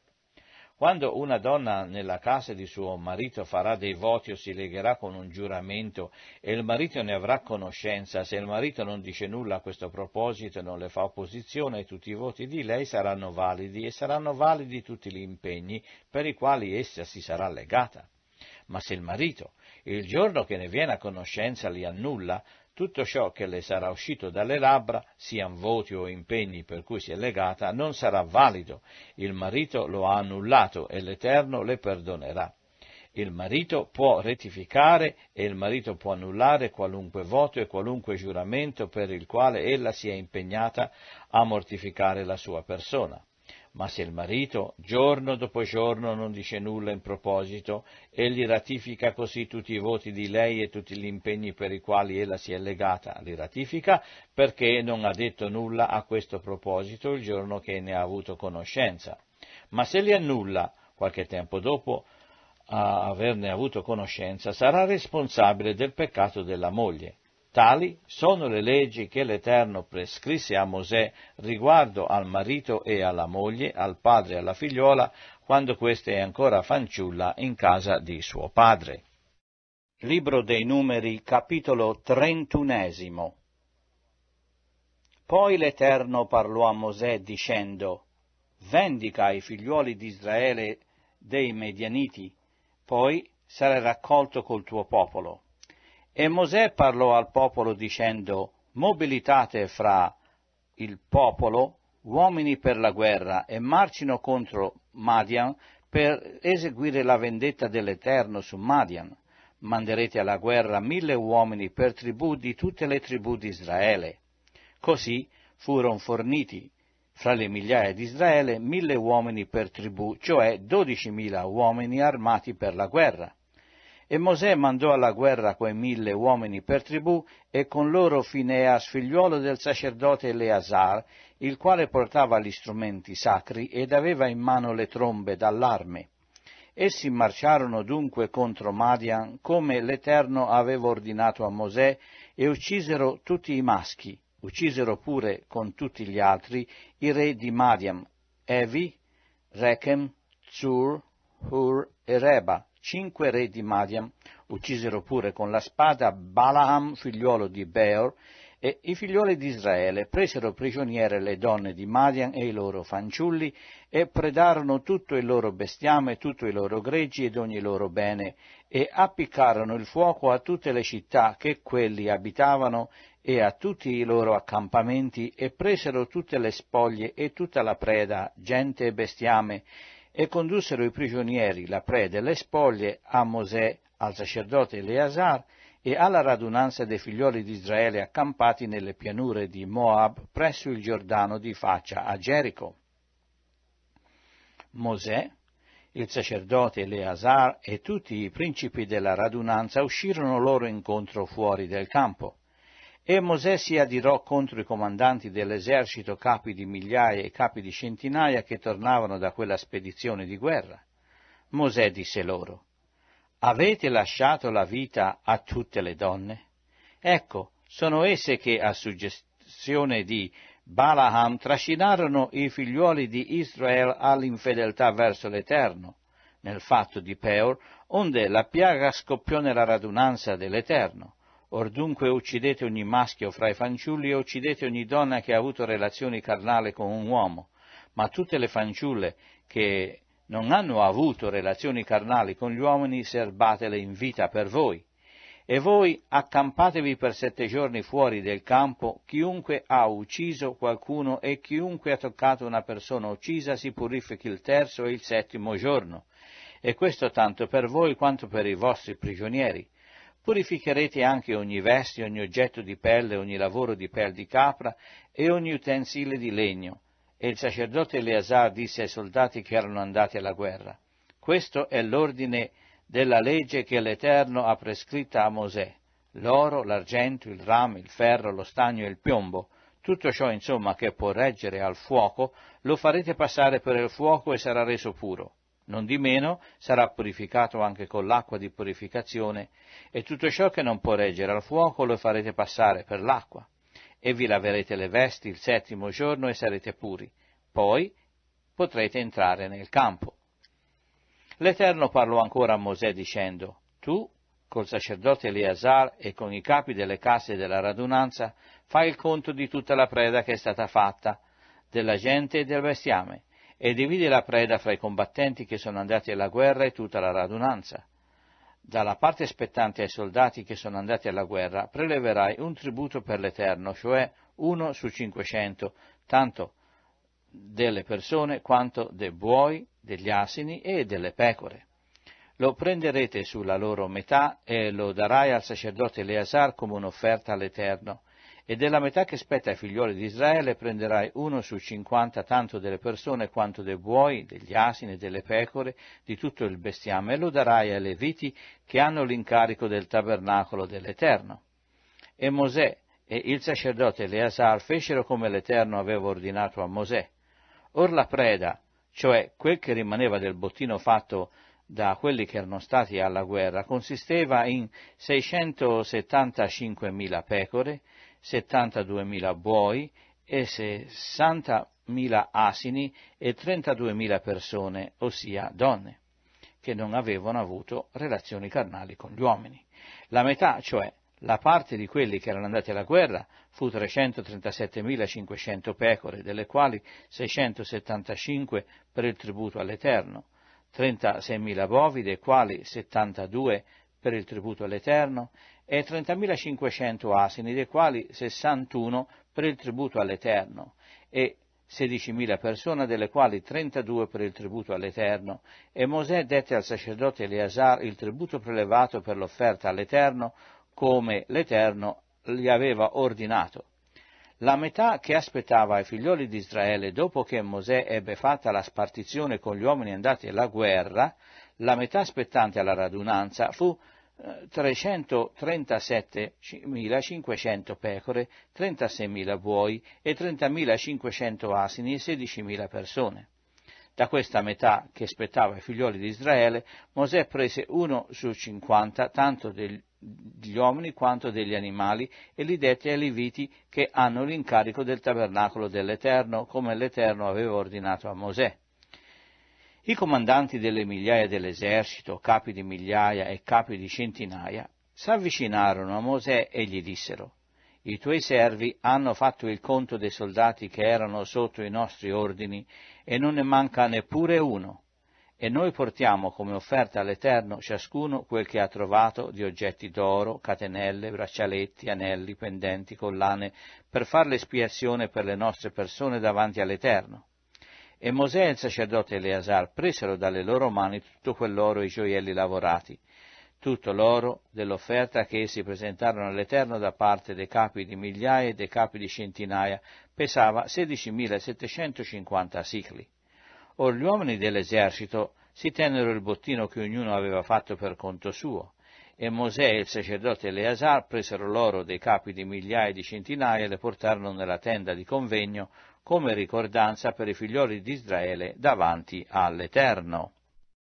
Numeri capitolo 32 Or i figlioli di Ruben e i figlioli di Gad avevano del bestiame in grandissimo numero, e quando videro che il paese di Yaser e il paese di Galad erano luoghi da bestiame, i figlioli di Gad e i figlioli di Ruben vennero a parlare a Mosè, al sacerdote Eleazar e ai principi della radunanza e dissero, Atarot, Dibon, Yezer, Nimrat, Heshbon, Elealech, Seban, Nebo e Beon, terre che l'Eterno ha colpite dinanzi alla radunanza di Israele, sono terre da bestiame, e i tuoi servi hanno del bestiame. E dissero ancora, se abbiamo trovato grazia agli occhi tuoi, sia concesso ai tuoi servi possesso di questo paese, e non ci far passare il Giordano.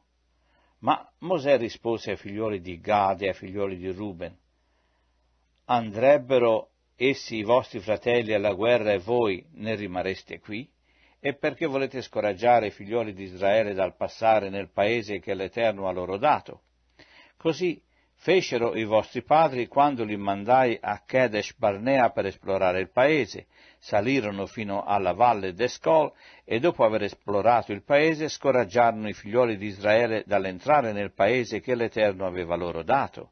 E l'ira dell'Eterno s'accese in quel giorno ed egli giurò dicendo gli uomini che sono saliti dall'Egitto dall'età di vent'anni in su non vedranno mai il paese che promisi con giuramento ad Abramo e a Isacco e a Giacobbe, perché non m'hanno seguito fedelmente, salvo Caleb, figliolo di Gefunne il Chineseo, e Giosuè, figliolo di Num, che hanno seguito l'Eterno fedelmente. E l'ira dell'Eterno s'accese contro Israele, ed egli lo fece andare vagando per il deserto durante quarant'anni finché tutta la generazione che aveva fatto quel male agli occhi dell'Eterno fosse consumata. Ed ecco che voi sorgete al posto dei vostri padri, razza d'uomini peccatori, per rendere l'ira dell'Eterno ancor più ardente contro Israele. Perché se voi vi sviate da lui, egli continuerà a lasciare Israele nel deserto e voi farete perire tutto questo popolo. Ma quelli s'accostarono a Mosè e gli dissero, Noi edificheremo qui dei recinti per il nostro bestiame e delle città per i nostri figliuoli, ma quanto a noi ci terremo pronti in armi per marciare alla testa dei figliuoli di Israele finché li abbiamo condotti al luogo destinato loro. Intanto i nostri figliuoli dimoreranno nelle città forti a cagione degli abitanti del paese, noi torneremo alle nostre case finché ciascuno dei figlioli di Israele non abbia preso possesso della sua eredità e non possederemo nulla con loro al di là del Giordano e più oltre, giacché la nostra eredità ci è toccata da questa parte del Giordano a oriente, e Mosè disse loro, se fate questo, se vi armate per andare a combattere davanti all'Eterno, se tutti quelli di voi che s'armeranno passeranno il Giordano davanti all'Eterno finché egli abbia cacciato i suoi nemici dal suo cospetto, e se non tornate che quando il paese vi sarà sottomesso davanti all'Eterno, voi non sarete colpevoli di fronte all'Eterno e di fronte a Israele, e questo paese sarà vostra proprietà davanti all'Eterno. Ma se non fate così, voi avrete peccato contro l'Eterno e sappiate che il vostro peccato vi ritroverà. Edificatevi delle città per i vostri figliuoli e dei recinti per i vostri greggi, e fate quello che la vostra bocca ha proferito. E i figliuoli di Gad e i figliuoli di Ruben parlarono a Mosè dicendo, I tuoi servi faranno quello che il mio Signore comanda. I nostri fanciulli, le nostre mogli, i nostri greggi e tutto il nostro bestiame rimarranno qui nelle città di Galad. Ma i tuoi servi, tutti quanti armati per la guerra, andranno a combattere davanti all'Eterno come dice il mio Signore. Allora Mosè dette loro degli ordini al sacerdote Eleazar e Giosuè, figliuolo di Nun e ai capi famiglia delle tribù dei figlioli di Israele. Mosè disse loro, se i figlioli di Gad e i figlioli di Ruben passano con voi il Giordano tutti armati per combattere davanti all'Eterno, e se il paese sarà sottomesso davanti a voi, darete loro come proprietà il paese di Galad. Ma se non passano armati con voi, avranno la loro proprietà fra voi nel paese di Canaan. E i figlioli di Gad e i figlioli di Ruben risposero dicendo, faremo come l'Eterno ha detto ai tuoi servi. Passeremo in armi davanti all'Eterno nel paese di Canaan, ma il possesso della nostra eredità resti per noi di qua dal Giordano. Mosè dunque dette ai figlioli di Gad e ai figlioli di Ruben, alla metà della tribù di Menasse, figliuolo di Giuseppe, il regno di Sihon, re degli Armorei, e il regno di Og, re di Basam, il paese, le sue città e i territori delle città del paese d'intorno. E i figlioli di Gad edificarono Dibon, Atarot, Aroer, Atrot, Shofan, Yazer e Yogabeat, Bet Nimra e Bet Haram, città fortificate, e fecero dei recinti per i greggi. E i figlioli di Ruben edificarono Eshbon, Elealet, Kiriataim, Nebo e Balammeum, i cui nomi furono mutati e Sibmat dettero dei nomi delle città che edificarono. E i figlioli di Machir, figliolo di Menasse, andarono nel paese di Galad, lo presero e ne cacciarono gli Amorei che vi stavano. Mosè dunque dette Galad a Machir, figliuolo di Menasse, che vi si stabilì. Jair, figliuolo di Menasse, andò anch'egli e prese i loro borghi e li chiamò Havot Jair, e Nobat andò e prese Kenat coi suoi villaggi e le diede nome Nobat.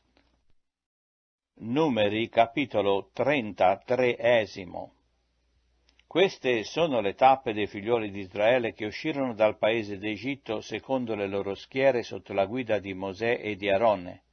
Or Mosè mise in iscritto le loro marce tappa per tappa per ordine dell'Eterno, e queste sono le loro tappe nell'ordine delle loro marce. Partirono da Ramses il primo mese, il quindicesimo giorno del primo mese il giorno dopo la Pasqua, i figlioli di Israele partirono a testa alta, a vista di tutti gli egiziani, mentre gli egiziani seppellivano quelli che l'Eterno aveva colpito fra loro, cioè tutti i primogeniti, allorché anche i loro dei erano stati colpiti dal giudizio dell'Eterno. I figlioli di Israele partirono dunque da Ramses e si accamparono a Sukkot. Partirono da Sukkot e si accamparono a Etan, che è all'estremità del deserto. Partirono da Etan e piegarono verso Pi Hairot, che è di rimpetto a Baal Zephon, e si accamparono davanti a Migdol. Partirono dinanzi a Airot, attraversarono il mare in direzione del deserto, fecero tre giornate di marcia nel deserto di Etam e si accamparono a Mara. Partirono da Mara e giunsero a Elim. Ad Elim c'erano dodici sorgenti d'acqua e settanta palme e qui vi si accamparono. Partirono da Elim e si accamparono presso il Mar Rosso partirono dal Mar Rosso e si accamparono nel deserto di Sin. Partirono dal deserto di Sin e si accamparono a Dovka. Partirono da Dovka e si accamparono ad Alush. Partirono da Alush e si accamparono a Refidim, dove non c'era acqua da bere per il popolo. Partirono da Refidim e si accamparono nel deserto di Sinai. Partirono dal deserto di Sinai e si accamparono a Kibrot Attava. Partirono da Kibrot Attava e si accamparono a Azerot. Partirono da Azerot e si accamparono a Ritma. Partirono da Ritma e si accamparono a Rimon Perez. Partirono da Rimon Perez e si accamparono a Libna. Partirono da Libna e si accamparono a Rissa. Partirono da Rissa e si accamparono a Chelata. Partirono da Chelata e si accamparono al monte Shefer. Partirono dal monte Shefer e si accamparono a Arada. Partirono da Arada e si accamparono a Machelot. Partirono da Machelot e si accamparono a Tatat. Partirono da Tatat e si accamparono a Zarak.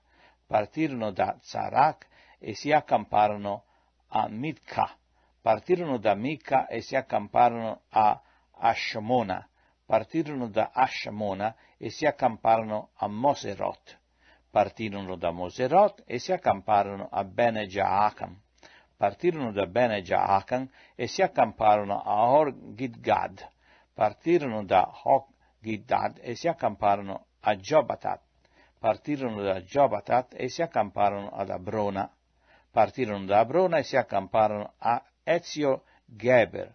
Partirono da Ezio Geber e si accamparono nel deserto di Zin, cioè a Cades. Poi partirono da Cades e si accamparono al monte Or, all'estremità del paese di Edom, e il sacerdote Aronne salì sul monte Or per ordine dell'Eterno, e qui vi morì il quarantesimo anno dopo l'uscita dei figlioli di Israele dal paese d'Egitto, il quinto mese e il primo giorno del mese.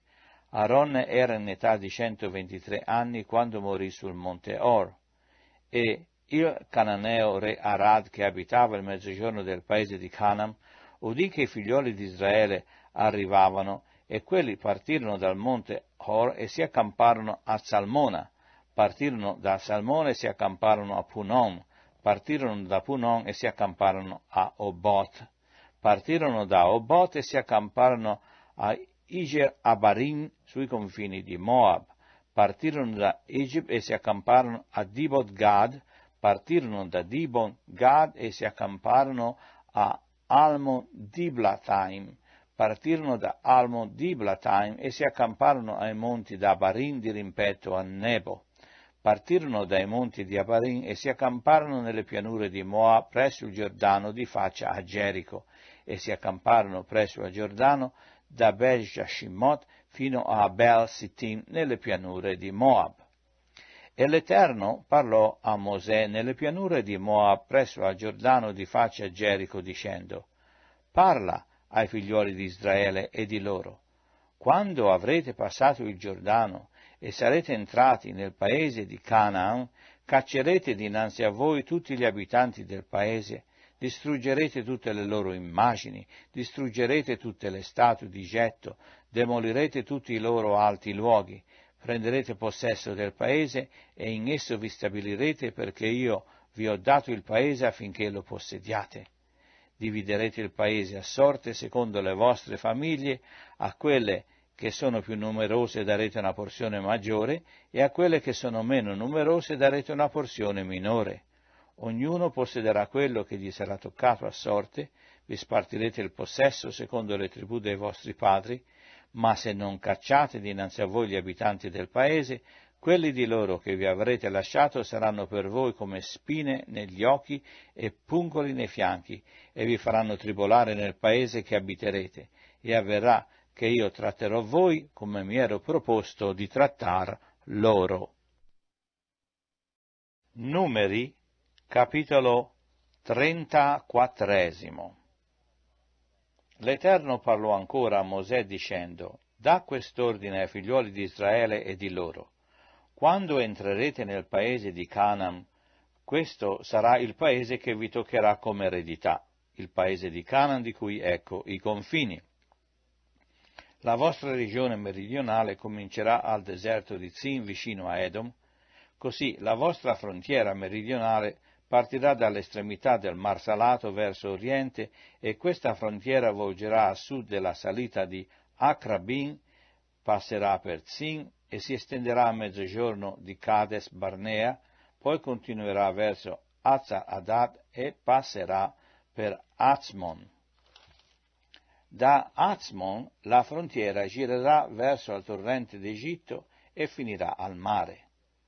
La vostra frontiera occidentale sarà il mare grande, quella sarà la vostra frontiera occidentale. E questa sarà la vostra frontiera settentrionale. Partendo dal mar grande, la traccerete fino al monte Or, dal monte Or la traccerete fin là dove si entra in Armat, all'estremità della frontiera sarà a Sedad. La frontiera continuerà fino a Zifron per finire a Azar Enan, questa sarà la vostra frontiera settentrionale. Traccerete la vostra frontiera orientale da Azar Enan a Shefan. La frontiera scenderà da Shefan verso Ribla a oriente di Aim, poi la frontiera scenderà e si estenderà lungo il mare di Kimmeret a oriente, poi la frontiera scenderà verso il Giordano e finirà al mare salato. Tale sarà il vostro paese con le sue frontiere tutto intorno. Mosè trasmise quest'ordine ai figlioli di Israele e disse loro, questo è il paese che vi distribuirete a sorte e che l'Eterno ha ordinato si dia a nove tribù e mezzo, poiché le tribù dei figlioli di Ruben secondo le case dei loro padri, la tribù dei figlioli di Gad secondo le case dei loro padri e la mezza tribù di Menasse hanno ricevuto la loro porzione. Queste due tribù e mezzo hanno ricevuto la loro porzione di qua dal Giordano di Gerico, dal lato orientale e l'Eterno parlò a Mosè dicendo, Questi sono i nomi degli uomini che spartiranno il paese fra voi, il sacerdote Eleazar e Giosuè figliuolo di Num. Prenderete anche un principe d'ogni tribù per fare la spartizione del paese. Ecco i nomi di questi uomini per la tribù di Giuda, Caleb figliolo di Gefunne, per le tribù dei figlioli di Simeone, Samuele figliolo di Amihud, per la tribù di Beniamino, Elidad figliolo di Chislom, per la tribù dei figlioli di Dan, il principe Buchi figliolo di Ogli, per i figlioli di Giuseppe, per la tribù dei figlioli di Menasse, il principe Aniel figliolo di Efod, e per la tribù dei figlioli di Efrem, il principe Kemuel figliolo di Shifitam, per la tribù dei figlioli di Zabulon, il principe Elizafan figliolo di Parnac, per le tribù dei figlioli di Issachar, principe Paltiel, figliolo di Azam, per la tribù dei figlioli di Asher, principe Ahihud, figliolo di Shelomi, e per la tribù dei figlioli di Neftali, il principe Pedahel, figliolo di Amihud. Queste sono le persone alle quali l'Eterno ordinò di spartire il paese di Canaan fra i figlioli di Israele. Numeri capitolo 35 L'Eterno parlò ancora a Mosè nelle pianure di Moab presso il Giordano di faccia a Gerico, dicendo Ordina ai figlioli di Israele che dell'eredità che possederanno diano ai leviti delle città da abitare, darete pure ai leviti il contado che è intorno alle città, ed essi avranno le città per abitarvi, e il contado servirà per i loro bestiami, per i loro beni e per tutti i loro animali. Il contado delle città che darete a Leviti si estenderà fuori per lo spazio di mille cubiti dalle mura della città tutto intorno. Misurerete dunque fuori della città duemila cubiti dal lato orientale, duemila cubiti dal lato meridionale, duemila cubiti dal lato occidentale, duemila cubiti dal lato settentrionale. La città sarà in mezzo. Tale sarà il contato per ciascuna delle loro città. Tra le città che darete ai Leviti ci saranno le sei città di rifugio che voi designerete perché vi si rifugi l'omicidia e, a queste aggiungerete altre 42 città. Tutte le città che darete ai Leviti saranno dunque 48 con relativo contato. E di quelle città che darete ai Leviti, prendendole dalla proprietà dei figlioli di Israele, ne prenderete di più da quelle che hanno di più e di meno da quelli che hanno di meno. ognuno darà delle sue città ai Leviti in proporzione della eredità che gli sarà toccata. Poi l'Eterno parlò a Mosè dicendo, Parla ai figlioli di Israele di loro, quando avrete passato il Giordano e sarete entrati nel paese di Cana, designerete delle città che siano per voi delle città di rifugio dove possa ricoverarsi l'omicida che avrà ucciso qualcuno involontariamente. Queste città vi serviranno di rifugio contro il vindice del sangue affinché l'omicidio non sia messo a morte prima di essere comparso in giudizio davanti alla radunanza. Delle città che darete vi saranno dunque per voi delle città di rifugio. Darete tre città di qua dal Giordano e darete tre altre città nel paese di Canaan e saranno città di rifugio. Queste sei città serviranno di rifugio ai figlioli di Israele, allo straniero e a colui che soggiornerà fra voi, finché vi scampi chiunque abbia ucciso qualcuno involontariamente. Ma se uno colpisce un altro con uno strumento di ferro sì che quello ne muoia, quel tale è omicida e l'omicidia dovrà essere punito di morte. Se lo colpisce con una pietra che aveva in mano atta a causare la morte e il colpito muore, quel tale è un omicida e l'omicidio dovrà essere punito di morte o se lo colpisce con uno strumento di legno che aveva in mano atto a causare la morte e il colpito muore, quel tale è un omicida e l'omicida sarà punito di morte. Sarà il vindice del sangue quelli che lo metterà a morte quando lo incontrerà e lo ucciderà. Se uno dà a un altro una spinta per odio o gli getta contro qualcosa con premeditazione sì che quello ne muoia, o lo colpisce per inimicizia con la mano sì che quello muoia, colui che ha colpito dovrà essere punito di morte, è un omicida. Il vindice del sangue ucciderà l'omicida quando lo incontrerà. Ma se gli dà una spinta per caso e non per inimicizia e gli getta contro qualche cosa senza premeditazione o se senza vederlo gli fa cadere addosso una pietra che possa causare la morte e quello ne muore senza che l'altro gli fosse nemico o gli volesse fare del male, allora ecco le norme secondo le quali la radunanza giudicherà fra colui che ha colpito e il vindice del sangue. La radunanza libererà l'omicidio dalle mani del vindice del sangue e lo farà tornare alla città di rifugio dove si era ricoverato. Qui vi dimorerà fino alla morte del sommo sacerdote che fu unto con olio santo. Ma se l'omicidia esce dai confini della città di rifugio dove si era ricoverato, e se il vindice del sangue trova l'omicidia fuori dei confini della sua città di rifugio e l'uccide, il vindice del sangue non sarà responsabile del sangue versato, poiché l'omicida deve stare nella sua città di rifugio fino alla morte del sommo sacerdote. Ma dopo la morte del sommo sacerdote l'omicida potrà tornare nella terra della sua proprietà. Queste vi servano come norme di diritto di generazione in generazione dovunque dimorerete. Se uno uccide un altro, l'omicida sarà messo a morte in seguito a disposizione di testimoni, ma un unico testimone non basterà per far condannare una persona a morte. Non accetterete prezzo di riscatto per la vita di un omicida colpevole e degno di morte, perché dovrà essere punito di morte non accetterete prezzo di riscatto che permetta a un omicida di ricoverarsi nella sua città di rifugio e di tornare ad abitare nel paese prima della morte del sacerdote. Non contaminerete il paese dove sarete, perché il sangue contamina il paese e non si potrà fare per il paese alcuna espiazione del sangue che vi sarà stato sparso se non mediante il sangue di colui che l'avrà sparso. Non contaminerete dunque il paese che andate ad abitare in mezzo al quale io dimorerò, poiché io sono l'Eterno che dimora in mezzo ai figliuoli di Israele.